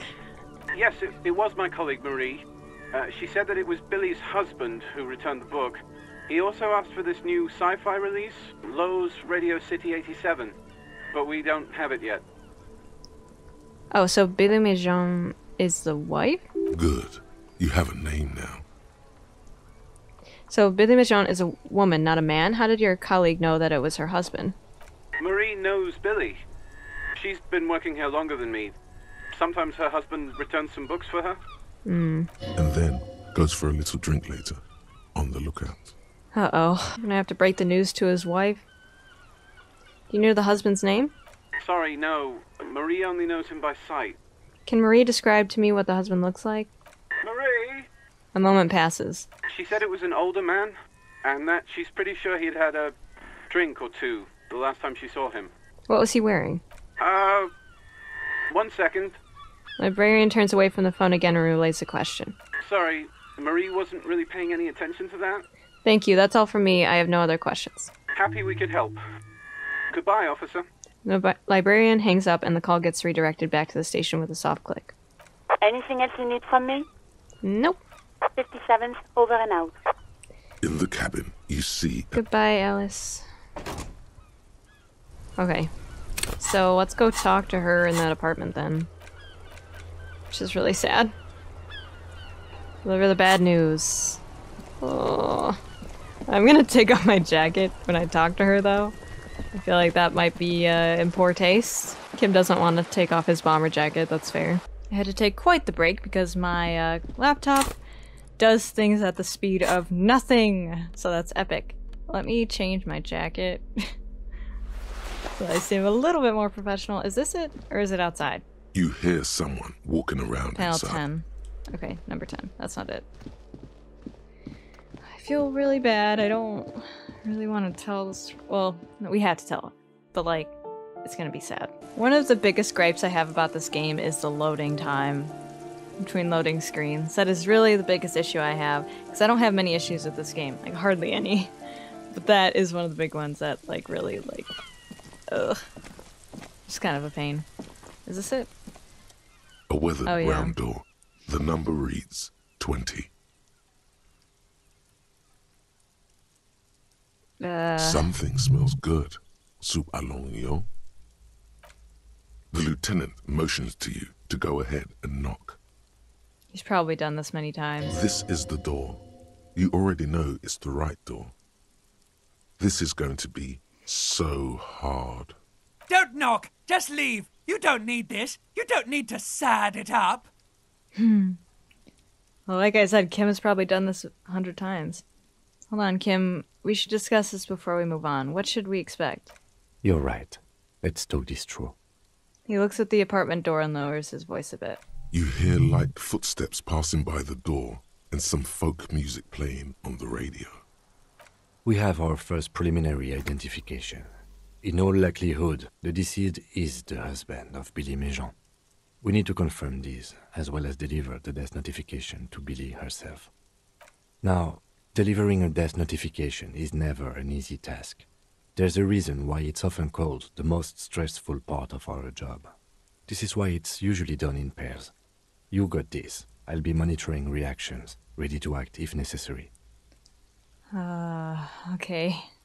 Uh, do you have any advice on how to tell her he's. What if I don't want to do this? Kim, I don't want to do this. Let's turn around. Alright, I think I'm ready. Any advice? Dad, just don't say that you know how they feel. You don't. Good advice. Hmm. What if I don't want to do this? Yes, it's hard. But there is no easy way to handle this information. It just has to happen, as soon as possible. Alright, I'm ready. The lieutenant motions towards the door. Knock. Hello? Who is it? A voice calls up. Her missing husband! Oh no! And someone turns down the radio. It is her. I had a feeling. Look at the lieutenant first. He gives you a short, encouraging nod. Is this Billy Mejean's home? This is the police. Please open the door. The police? A moment, please give us a moment. You hear shuffling inside. Tidying up. Nervously. There's fear in her voice. Come in, the door is open. I was treating that whole scenario as a joke. I didn't know her husband was actually dead. Oh. Shit. I really wish I didn't, like, push the subject now. Oh my god. Hi. Um. Empty rack of red Astra cigarettes hidden under the bed. No, wait, no, no, no, no. Oh, shit. It's you from the book stand. Did you come to bring my cockatoo back? She smiles nervously before the smile vanishes from her face. I think she knows. I don't think I introduced myself properly. I'm Billy. Would you like something to drink? Tea? Lemonade? We're out of coffee. The lieutenant has taken off his foggy glasses and is busy cleaning them in his handkerchief for now. You're on your own here. He must feel vulnerable without his glasses. Is this why he's letting you take the lead? Thanks, but I'm alright.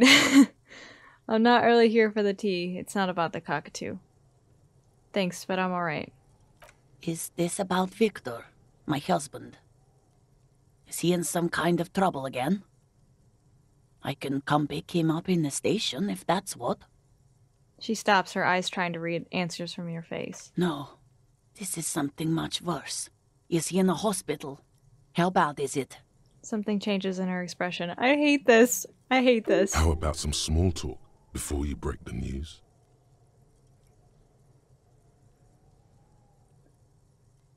Huh.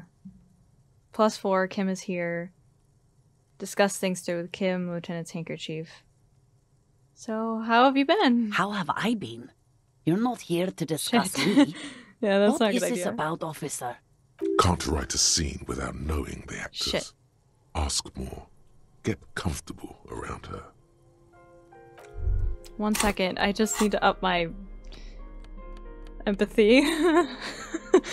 oh god. I have to wear these. And, uh. These shoes. And, uh. Can't up my empathy any more than that, so. She looks up, too anxious to say anything. You've done this before. Just keep your focus. God, do I just say he's dead like that? Ma'am, I'm very sorry to say, but your husband, Victor Mijon, was found dead on the board- Martinaise boardwalk. Do I just say he's dead like that? Yes, that's the most important thing. Use that word. No euphemisms. This is what you came here for. Ma'am, I'm very sorry to say, but your husband, Victor Mijon, was found dead on the Martinaise boardwalk. What did you say? She blinks. A great and terrible spike. The blood freezes in her veins. Sucks. your husband, Victor Michon, is dead. I'm very sorry for your loss, ma'am. Oh, She touches her neck, eyes pale like pearls and seawater. oh. But he was just. She looks at the kitchen table where two cigarette butts are still in the tray. But he was just here. Alive. Don't make me cry. Alright, don't. Mm-mm. Why am I crying? No, I'm not crying yet. It's fine. We understand this comes as a huge shock. I want you to know that me and my partner are here for you if you have any questions. Take your time, man. What happened to him? She turns to you, her neck and cheeks are covered with red blotches, her double chin is shaking. It's still early to say, but at first glance it seems like he slipped and hit his head. It was an accident. He fell through a hole in the boardwalk and hit his head. It's still too early to say. It seems like he slipped and hit his head. Was he drunk? Alcohol may have played a role, yes. We don't know yet, but we will let you know when the results arrive. It may have played a role. I see. And you just found him there, lying in the cold. She withdraws, trying to picture the scene. How long had he been there? If you say two days, maybe, it will be etched in her mind forever. It's hard to say at this point. Couldn't have been that long. She blinks, eyes welling up with tears, as her hand starts searching for something from the pockets of her dress. The handkerchief. Aww. Don't give her the lieutenant's handkerchief. It's too special. I want to keep it, but she needs it more than me, you know? Here, take this. Give her the lieutenant's handkerchief. No words, just give her the lieutenant's handkerchief. Take this. Yes, thank you. She smiles a small, terrified smile, then wipes away her tears. She looks disoriented. Is there anyone we could call for you? A friend, a family member, someone who could be here for you? No, no. I just need to tell my girls. The air gets sucked out of her lungs suddenly. It burns like acid. God, should I call them? Should I tell them to come home? No. A day. Yes, they should know. Do you want us to call them and ask them here? Oh, take a day to recover. You'll be better prepared when they come home tomorrow. Good. That's probably the right thing. Thank you. She nods, but with a wretched expression. Just tell me, what do I need to do next? Where is he? Can I see him? We've taken him to the city morgue. The local coroner will be contacting you shortly to arrange the funeral. Here's his number in case you want to contact him earlier. He hands her a leaflet with the morgue's contact information. A very good call. Is there anything else that the RCM could do for you? No, I'll call you if something comes up. I'm still. She rubs her face, runs her fingers over cheeks that have become numb. Thank you. Thank you for telling me. I'll call if. She looks down. She runs out of breath. These are her last reserves of strength. Her muscles will give in soon. Already, she starts to shake. Again, I'm very sorry, ma'am. We should step outside and talk. Set the library card by her. Leave the room. Lieutenant nods at the woman, then looks back at you, his voice lowered. I didn't get to look at everything in their house. I'm bummed that I missed that stuff, but and I also wanted to keep his handkerchief, but um, she needs it more than me, you know.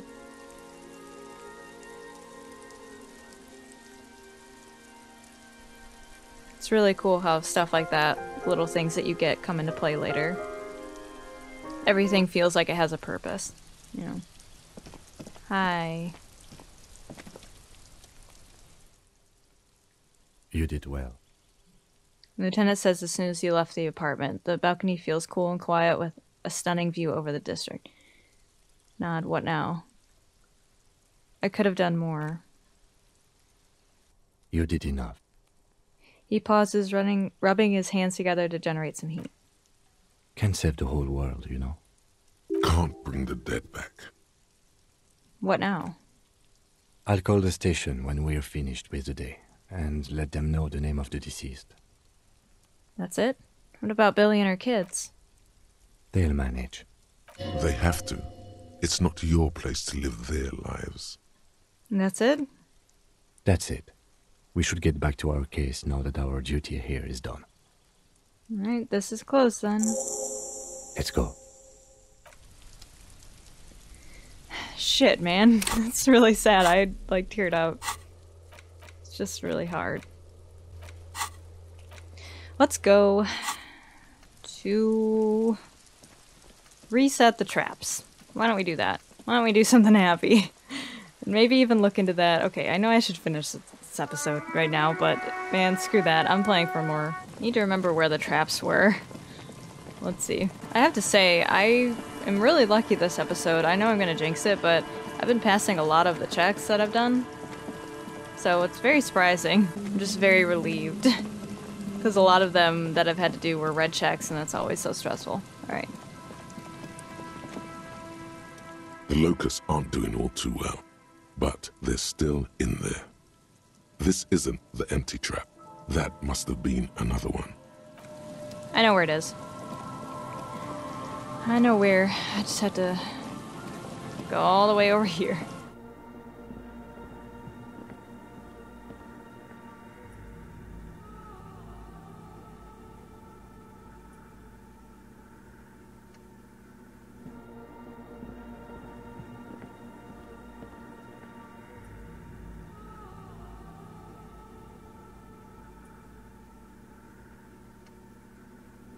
Um, okay, I only have a little bit left in my storage, my camera, to record, so I can't play for much longer, but see if she has anything to say. What is it? The woman is still hunched over the keyboard, gently illuminated by the party machine. I didn't break anything, did I? Hey, are you the lead programmer of the World World Untethered by any chance? Sorry, but who are you? What are you doing here? I didn't break anything, did I? No, you just printed out my personal log and wasted some paper. It does not look like a big loss to her. Are you the lead programmer? Yes. Or, no. Not anymore. That project is dead. She thinks to herself. She doesn't seem surprised to be recognized. Rather sad. Something passes over her face before she straightens her back. Sorry, but who are you? What are you doing here? I am Sona Luukkanen Kilde, the former lead Oh. programmer of Fortress Accident and RSA radios. I have over 16 years of programming experience, and I'm proficient in both Vox and Orbis languages. If you're not here to hire me, I don't really know how I can help you. She turns back to the terminal. Uh, I'm looking to start a nightclub. Have you seen the Crab Man? Why are there so many place machines in this place? What are you doing in an abandoned church? How do you feel about anodic dance music? Have you seen the Crab Man? Nope. But you know he's around? Yes. He's seen you. He must have seen you. It sounds like you're not worried about him at all. He's seen you, And and the Crab Man has seen you. I don't care. I don't care about crap men. She barely looks up, now tinkering with the machine's printer. Wow, she really doesn't. Not afraid, this one. Why are there so many machines in this place? I brought them here. These are my machines. Please don't touch anything. Why do you need an antenna? Point to it. What are you doing with these radio computers? What about those bowls of water over there? Why do you need an antenna? I use the AR1 as my RAIN prefect's processing unit. Wait, what? RAIN prefect. My radio computer. And that antenna is its processing unit? Yes? You really don't know anything about radio computers, do you?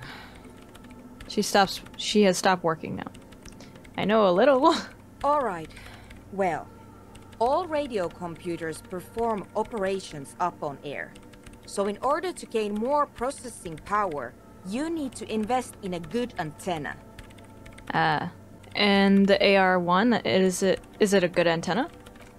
I guess it is. So far, I've been quite satisfied with it. Martinaise is an unstable region with bad coverage, and the operation has been surprisingly stable. Hmm. But it's not the cheapest one on the market. So I wouldn't recommend it for your regular red tape operations.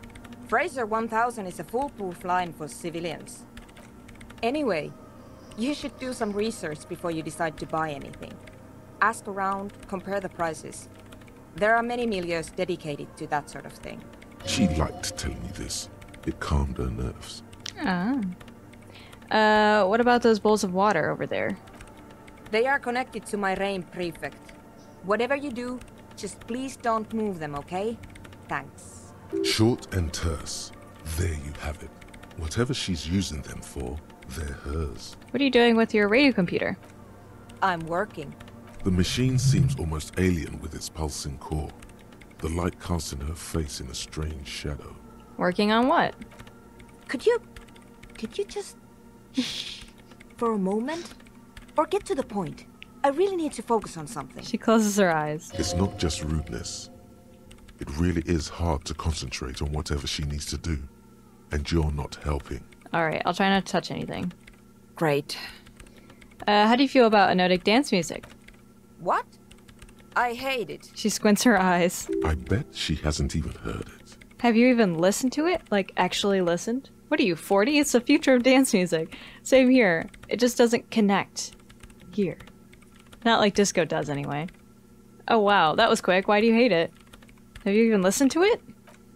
Yeah. Like all the time. My tent neighbors don't really ease up with their partying, do they? She pulls a face that looks absolutely scathing. Maybe I'd have to be on drugs to get it, but to a sober mind, it just sounds like uninspired rug whipping. No idea what it has to do with either dancing or music. Okay. Here's what I think is going to happen. She's not going to let them into this area because this is the area where she has set up all her items and stuff. So it's not like she can just move out willingly, right? So I feel like she's going to have to move back into the Doom commercial area, but Plaisance doesn't want her to, so we'll probably have to convince Plaisance to let her in. That's my that's my guess.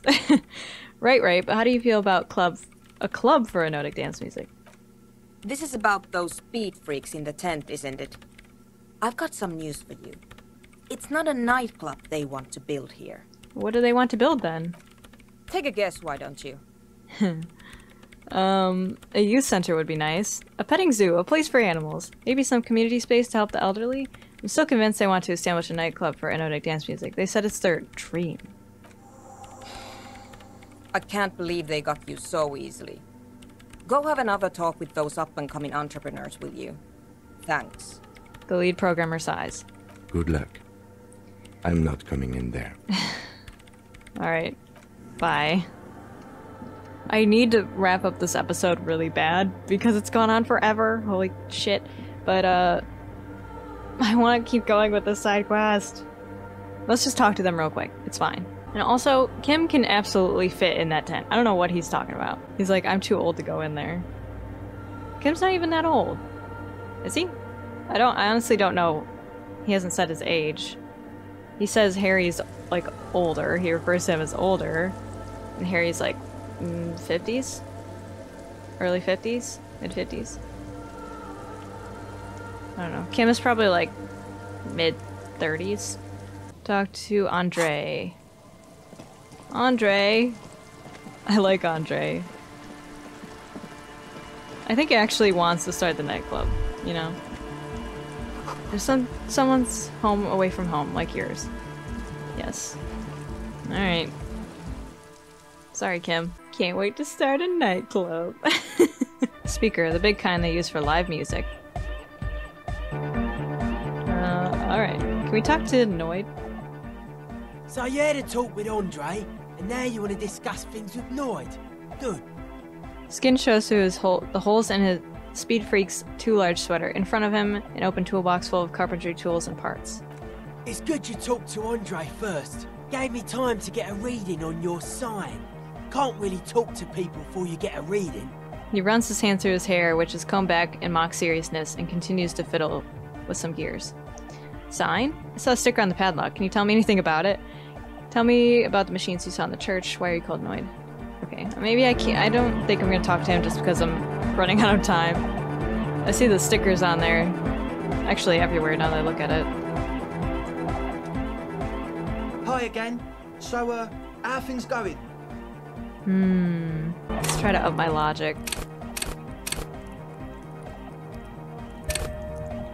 Do that and let's see. My outfit is insane. I'm trying to up my logic as much as I can. I think I'm still gonna fail it though. Oh shit. Oh yeah, that's a meteor and name. If you don't know what the found Okay. Come to think of it, Talk about something else. yes, Let's try it. the number of things don't add up. Let's take a look. I just had to dress in a ridiculous outfit. How about gather around, kids? Okay, kids, now gather around. The young speed freak puts down a busted capacitor and looks at you. The one with the large head seems very enthusiastic about whatever you have planned. Their would-be leader is less amused. Hmm. Sometime in the past, I'm not sure when and where, but betrayal was involved. I fell sick and become the shadow you see now, but before that, I have reason to believe I was a police detective. I don't know what my play is here, but let's try it. but you still are. Thank you for your kind words, but everyone in here sees I'm a disgrace to the uniform. I was good enough in this job to be awarded the rank of Lieutenant Yefreitor. I could have been captain. Imagine that. What happened? Egghead looks serious suddenly. Disco happened. It smelled so impossibly sweet. Life tore me a new asshole. I did. I happened myself. What am I talking about? I don't know what my goal is here. Disco happened. I've been trying to say we need the next step in dance music to happen fast. Shut it. He looks at his friend. What? I have. I've said that. Now, obviously, that might have, might as well have been a thousand years ago, but there's still some detective left in me. The young speed freak is silent. He senses something is wrong. Soona hinted that there's something else going on, that I'm being naive. You're sober. Was it hard for you to keep sober in the, for this meeting? This isn't the makings of a club. It's a tent full of labor- laboratory laboratory equipment for manufacturing drugs. Mm, They seem like they're on drugs. I have no idea how you arrived at that conclusion, but it's wrong. Look, we even have speakers. He points at the speakers. One speaker. They have one speaker. Where's his friend? Did he lose his friend? You have no headphones. Wouldn't Estelle need her headphones to spin tape? The ether in the air, a useful solvent, good for acting, getting acting agent out of a solution. You have no headphones. What do you know about spinning tape? Nothing. Where's his friend? Did he lose his friend? What do you mean, friend? The other speaker, you only have one. It's a one-speaker system. It's monodynamic.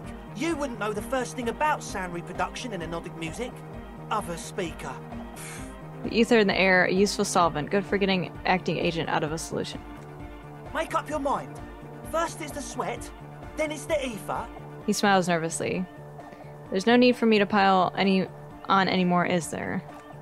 No shit. He sounds tired. Soona hinted that there's something else going on, that I'm being naive. Hey man, who knows what she's on about? I get it. She doesn't want us in the church. She's got something against us. She scoffs. He scoffs. Who doesn't like to dance? She doesn't like to dance. You're sober. Was it hard for you to keep sober in this meeting? We don't need drugs to be hardcore. Shut the fuck up, Egg. Maybe not today, Egg, but you need drugs to get through the days when you're not expecting me. Climb down from the equestrian monument, cop man. Consciousness is new to the universe. We all have our ways to ease the shock. Bottom line is, I know. What exactly is it you know? In short, you tried to use a police detective to set up a drug lab. That's... Come on, that's... Preposterous, against the law, punishable by summary execution. Against the law? I meant to say, not true. So what are we gonna do with you? What do you mean, do? There's resignation in his voice. He's almost ready to drop the act. It wouldn't take a lot of pushing. But I wanted a disco rave scene. The optimal way to go about this would be indifference. It begins by you telling him you don't care about any of this. We do this lawman style. First you tell me everything, then I pass judgment. You tell me what's really going on and we'll work from there. I can be lenient. Um, I don't really care. I just wanted wanted to crack the case. Do what you want and I'll do what I want. Uh, I can be lenient. What do you mean by lenient? Not calling back up and hauling you all, all off to the pen for starters. Haven't you heard? I'm the dirtiest cop on the side of the river. I'll make life hard for you, using every connection I've got. We'll see. Now speak. Not calling out backup for starters. Okay, man. Okay. He raises his ha hands. Things are just so, so hard for an entrepreneur in this city right now. It's not like we lied when we said we want to turn a church into the wickedest club in East Revachol. You just left a few parts out, right? Because we do! We totally do! We just need to turn it into a speed lab before. Come on, Andre. To get our foot in the door. And why did you need me? Like I told you, spooky arseholes moved in while I was getting all this stuff together. A month ago, the place was empty, and now it's all spooked up. They're not really spooky, are they? No, man. They're spooky, all right. It's just that they would also probably call the police if we started cooking speed in there. Yeah, I wonder why. But the sign was way off, too. I couldn't feel the love at all. Sir, you promised you'd be lenient. This is it. Judgment time. Give me your cash. Ask for bribe first. Pack up and report to Precinct 41. Arrest them. Get lost. I don't want to see you again. Evict them. Let's do this clean. No speed lab, just a club for anodic music. It wouldn't work without the lab. Do what you have to do to keep the club alive. No speed lab, just a club. Yeah! The young man's smile widens to inhuman proportions. His teeth beam into the floodlight. I knew it. The would-be leader drops his spiked head between his knees. It's impossible now. It's not. No, Andre, it's harder now. This hard cop has come to show us how much the fish is, and the fish is always so much more. We all know there was never going to be a club for anodic music with the Speed Lab. Now it has a fighting chance. So there was never going to be a club in there? There needs to be a club for anodic music in there. Needs to. Everyone hates each other. Everybody hates it here. It's all just drugs and we're slaves and I can't. we are running out of time. What? We need a win, Andre. I promise this will be a win. We won't cook speed in there. We'll do it clean. We'll do it true. We'll do it sober and real and beautiful. This will be a victory for the light. You got that right, Egghead. Okay, we'll try to do it without the drugs. He raises his head between his knees. We'll do a straight club up in there, spinning the maddest reels, and nothing but. I swear to God. Okay, Egg? Yeah. From here on, it'll be straight all the way. Alright, about the church, I checked it out. And? I talked to what the happened? I talked to the crab man. Oh, man. Who is he? What did you think? Seems okay to be honest, very spiritual. He gave me this old lecture about on alcoholism before rambling on about mother's love. But right, he's a true nar narcomaniac, and the way he climbs, it was terrifying. Uh, so, gave me an odd lecture. Really? Huh. Interesting. What's he doing in the church? Uh, just preaching and praying from the looks of it. No matter. Is he gonna be a problem? The paranoid young man mumbles gruffly. Yeah, Noid is right. Let's get back to the point. What are we gonna do about him? These guys will never catch him. You will never catch him. There's nothing to do. Um. As far as I can tell, he's not going to leave. He'll climb, climb around up there, and guys, you'll never catch him. Actually, he told me he wouldn't mind the nightclub at all. I don't know, man. Doesn't it feel like a major hindrance to you? A spooky guy climbing around when all the guests are trying to have nice, friendly hyper time? He rubs his jaw. Don't worry, I don't think he really gives a damn about you or anyone else. I guess it's not a massive problem, now that I think of it. Yeah. Okay, I had delete some stuff off my camera to, so I could keep recording. it's gonna be like three hour long episode. Oh my god. Okay. Everyone is welcome to dance till the morning light. Yeah! I can't wait. Maybe. Uh, I guess we'll figure something out. Okay, but what about the other spooker? The one in Grandma's clothes? Did you see her? I was using the mainframe when Soona, the former leader of program, lead programmer of Fortress Occident, appeared. A programmer? That's odd. What was she like? Did you ask her about the nightclub? She did not like the Anodic Dance Club idea. What a pity! That's my favourite thing in the world! And she doesn't like it at all! He drops the hammer back into the toolbox. A shame. What can we do now? Do you see a way out of this jam? and into a laser-lit future of dance and unity? I hope so. Unity! Dance! She made it very clear that she won't leave until her own project is finished. And you can't just evict her? No, I won't evict her. We have to come up with a different solution. Look at you, Honor Man. No, Noid. He's right. Maybe we've approached it the wrong way after all. I'm sure there's a workaround. We can make a deal not to bother her. If that's okay with her, we only want to get in the church and spread the joy and ecstasy of music. the lines in the dark exist, coexist. At least Crabman seems like an advanced being. He's hard. He'll understand. yeah, he can do his climbing thing in the tower. And the programmer, does she like anodic dance music? She absolutely does not. Really, truly despises it. Egghead cannot believe what she just said. It makes him pump the jam a little slower for a moment, but then he returns to the full swing of it. Aw, sorry, Egghead. No worries. We'll figure it out. If coexisting fails, you can always muscle her out, right? If it's all okay with you, what do you think? I refuse to throw her out, but I can try convincing her.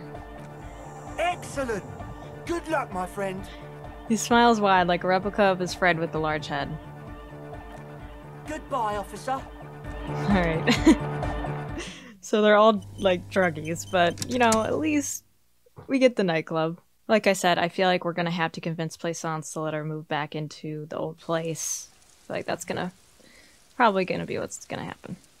Alright, let's change out of this outfit, please. Painted with pastel, someone's trying to bring cheer into the world. Let's talk to her and then if it seems like it's gonna go on for a lot longer, I'll just end the episode here, but I really want to keep playing. You guys don't know how hard it is to turn this game off. Okay, hi, do you want to... Would you like a, a rave scene in here, please? Oh, hi, Kim. We're... yes, what is it? Uh, can you... Hold on. Kim, how about you move over here? Alright. Yes, There. what is it? Uh, okay. Uh, what if you didn't have to leave? I talked to Andre. He wants to make it work. I don't want to make anything work. Her expression remains unchanged. Hold on. You don't want to make anything work? Yes, anything. I don't want to make anything work. It's not the anodic dance music that's made her bitter. Yep. It's the failure of Fortress Occident. Are you bitter because your radio game project failed? That's right. If we couldn't get our Welkins to happen, I don't want anything to happen. Ever again. There's not a trace of irony in her voice. She means it. Let's try it. Easy. when her research is done, she can move out. Okay, so we don't have to convince her to leave to uh, the other place. Listen, about your research, maybe I can help with anything? Help you refill those water basins or something? What? No, I don't really need any help with the project. But if I could help you finish the project, then you wouldn't have to live in a church next to Boom Boom anymore. Just think about it. She thinks about it. A glassy look in her eyes. A gust of wind brings more snow in from the broken gallery. It touches her hair. All right. Bring me the game's offsite copy from my old workspace, if you really want to help. I have it. It's stored on a filament memory, and I'm unable to go and fetch it myself. Um, okay. Is this the filament you're looking for? No, that's the production schedule what? you stole and accessed without authorization. I don't need it. She's tapping the table in badly concealed impatience. In his defense, it was simply lying in the desk drawer of an abandoned cubicle. Thank you, Kim. Okay, but still, What is an offsite copy and why do you need it? it's a backup of my former employer's project, the radio game we were working on.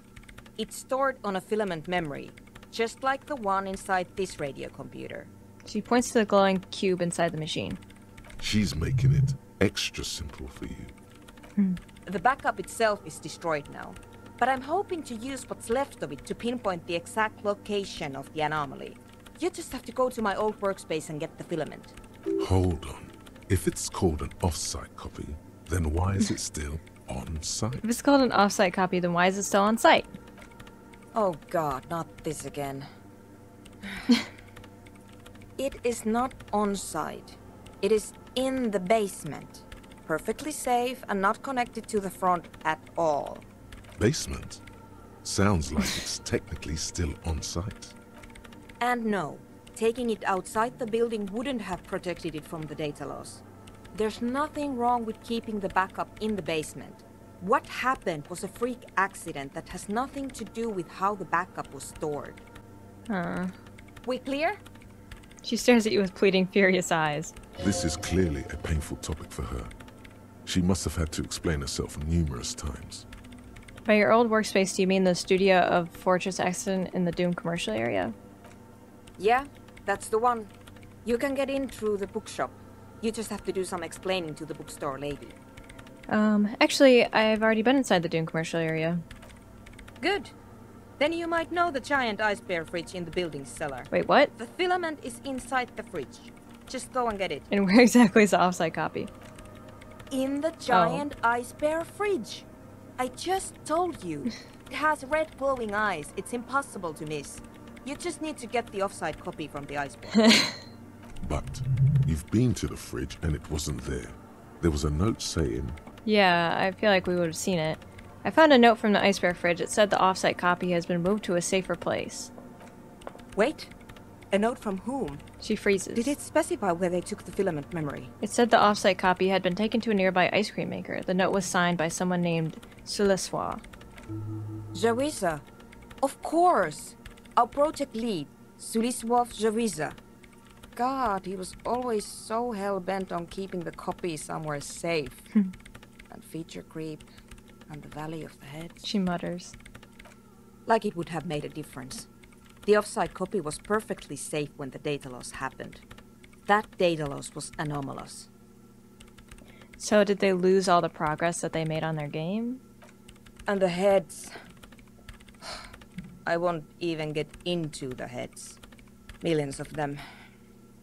Go find that copy from that ice cream maker, will you? Thanks. Valley of a Thousand Heads. You like the sound of that.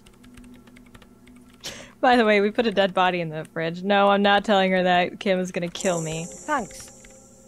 Alright. She thinks for a moment, then reaches behind the radio computer and hands what hands you what looks like an oversized pry bar. And here's Oh. my Kvalsund multi-tool. You might need it to hack loose some ice. It opens everything. If you get me the offsite copy, then you can keep the Kvalsund. It hurts a bit for her to say this. Oh. She's not too happy to be parting with the Kavalsund. Alright. Let's go find that thing. God, this episode is gonna be so long. I'm so sorry. Now we have a cool pry bar. Damn. Whoa. This is an advanced pry bar, a pry bar plus two, if you will, built by Kvalson in Vasa. The number of gadgets hidden within the frame of the yellow and gray multi-tool will stagger any technician. Pretty cool, huh, Kim? Wonder what else it can open. oh! The freaking container! The thingy! In the freaking thing! In the harbor, I mean. You know? Shit, dude. I'm so hyped. Alright, I guess we're gonna go searching for all the... This orange Oh, wow. machine is buzzing like an old submarine. It has a hand-cranked ice cream churner on top and an electric freezer that appears to be frozen shut. Okay, wait. What if we unplug all of them? Two Plug. cables are plugged into the brick Plug and that. electric sizzle. The room is slightly quieter now. Unplug the black cable. Something close to you.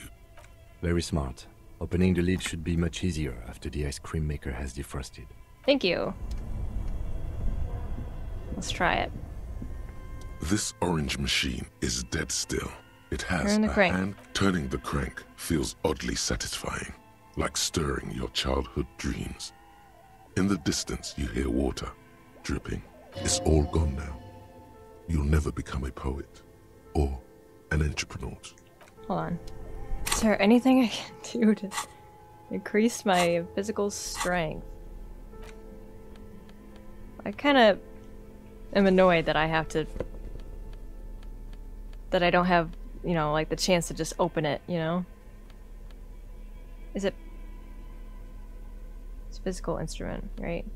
Let's try it. This orange machine is dead. s- Ice squeaks beneath your I it. multi-tool, but your fingers slip away from the tool. The lid shut as tightly as before, and it's already Mm. unplugged. There's not much else to do other than wait for it to defrost or bulk up and get stronger. Let's try. There's more around here, so. Oh, wait. Was that the only one I could try? Shit. Oh, shit. Alright. Hmm. I'm sad. okay, I'm gonna leave this episode off here. We did a lot this episode. Holy crap. This episode has been so long. I just almost wanted to make up for the last part because I felt so bad about it. Um, not gonna lie. Uh, I didn't like the last episode because I just, I was off my game. I was in so much pain, blah, blah, blah. We already know that. So this episode has been extra long and I've really enjoyed playing it. I just have so much fun with this game all the time and I want to know what's going on with the plot so bad. Um, because everything feels like it's piecing together so well. Like every tiny little interaction that you have comes into play later. Like just getting Kim's handkerchief in the beginning and giving it to the lady um, when she lost her husband. It's just so, it's so good. It feels so intentional. Like everything that the writers put in there means something, and I just love that in games. I wasted like all of my money on that board game that I didn't even really use. I'm gonna keep that if I want to pass time, and uh, yeah, I, I want to play that board game with Kim again, really bad, because that was fun. It was really funny. I wasn't expecting him to be like, don't fuck with me. Like, literally say that. It was amazing. We also spoke to those two dudes. We got their jackets. I passed a lot of checks this episode, and I was very surprised. Um, I feel like I it was probably good I, I failed that last one because I needed to end this episode here. We'll figure out soon uh, how to get that open and then hopefully get a rave club started. it's amazing. This game is amazing. Um, of course, those dudes are on drugs. I mean, it, I really like Andre still, but it it's pretty obvious that he's under the influence. Hope you guys are enjoying this series so far. If you enjoyed this episode, leave a like or subscribe if you're new because I'd love to have you stick around and watch me play some video games and hang out with me. I will see you guys in the next video. Goodbye.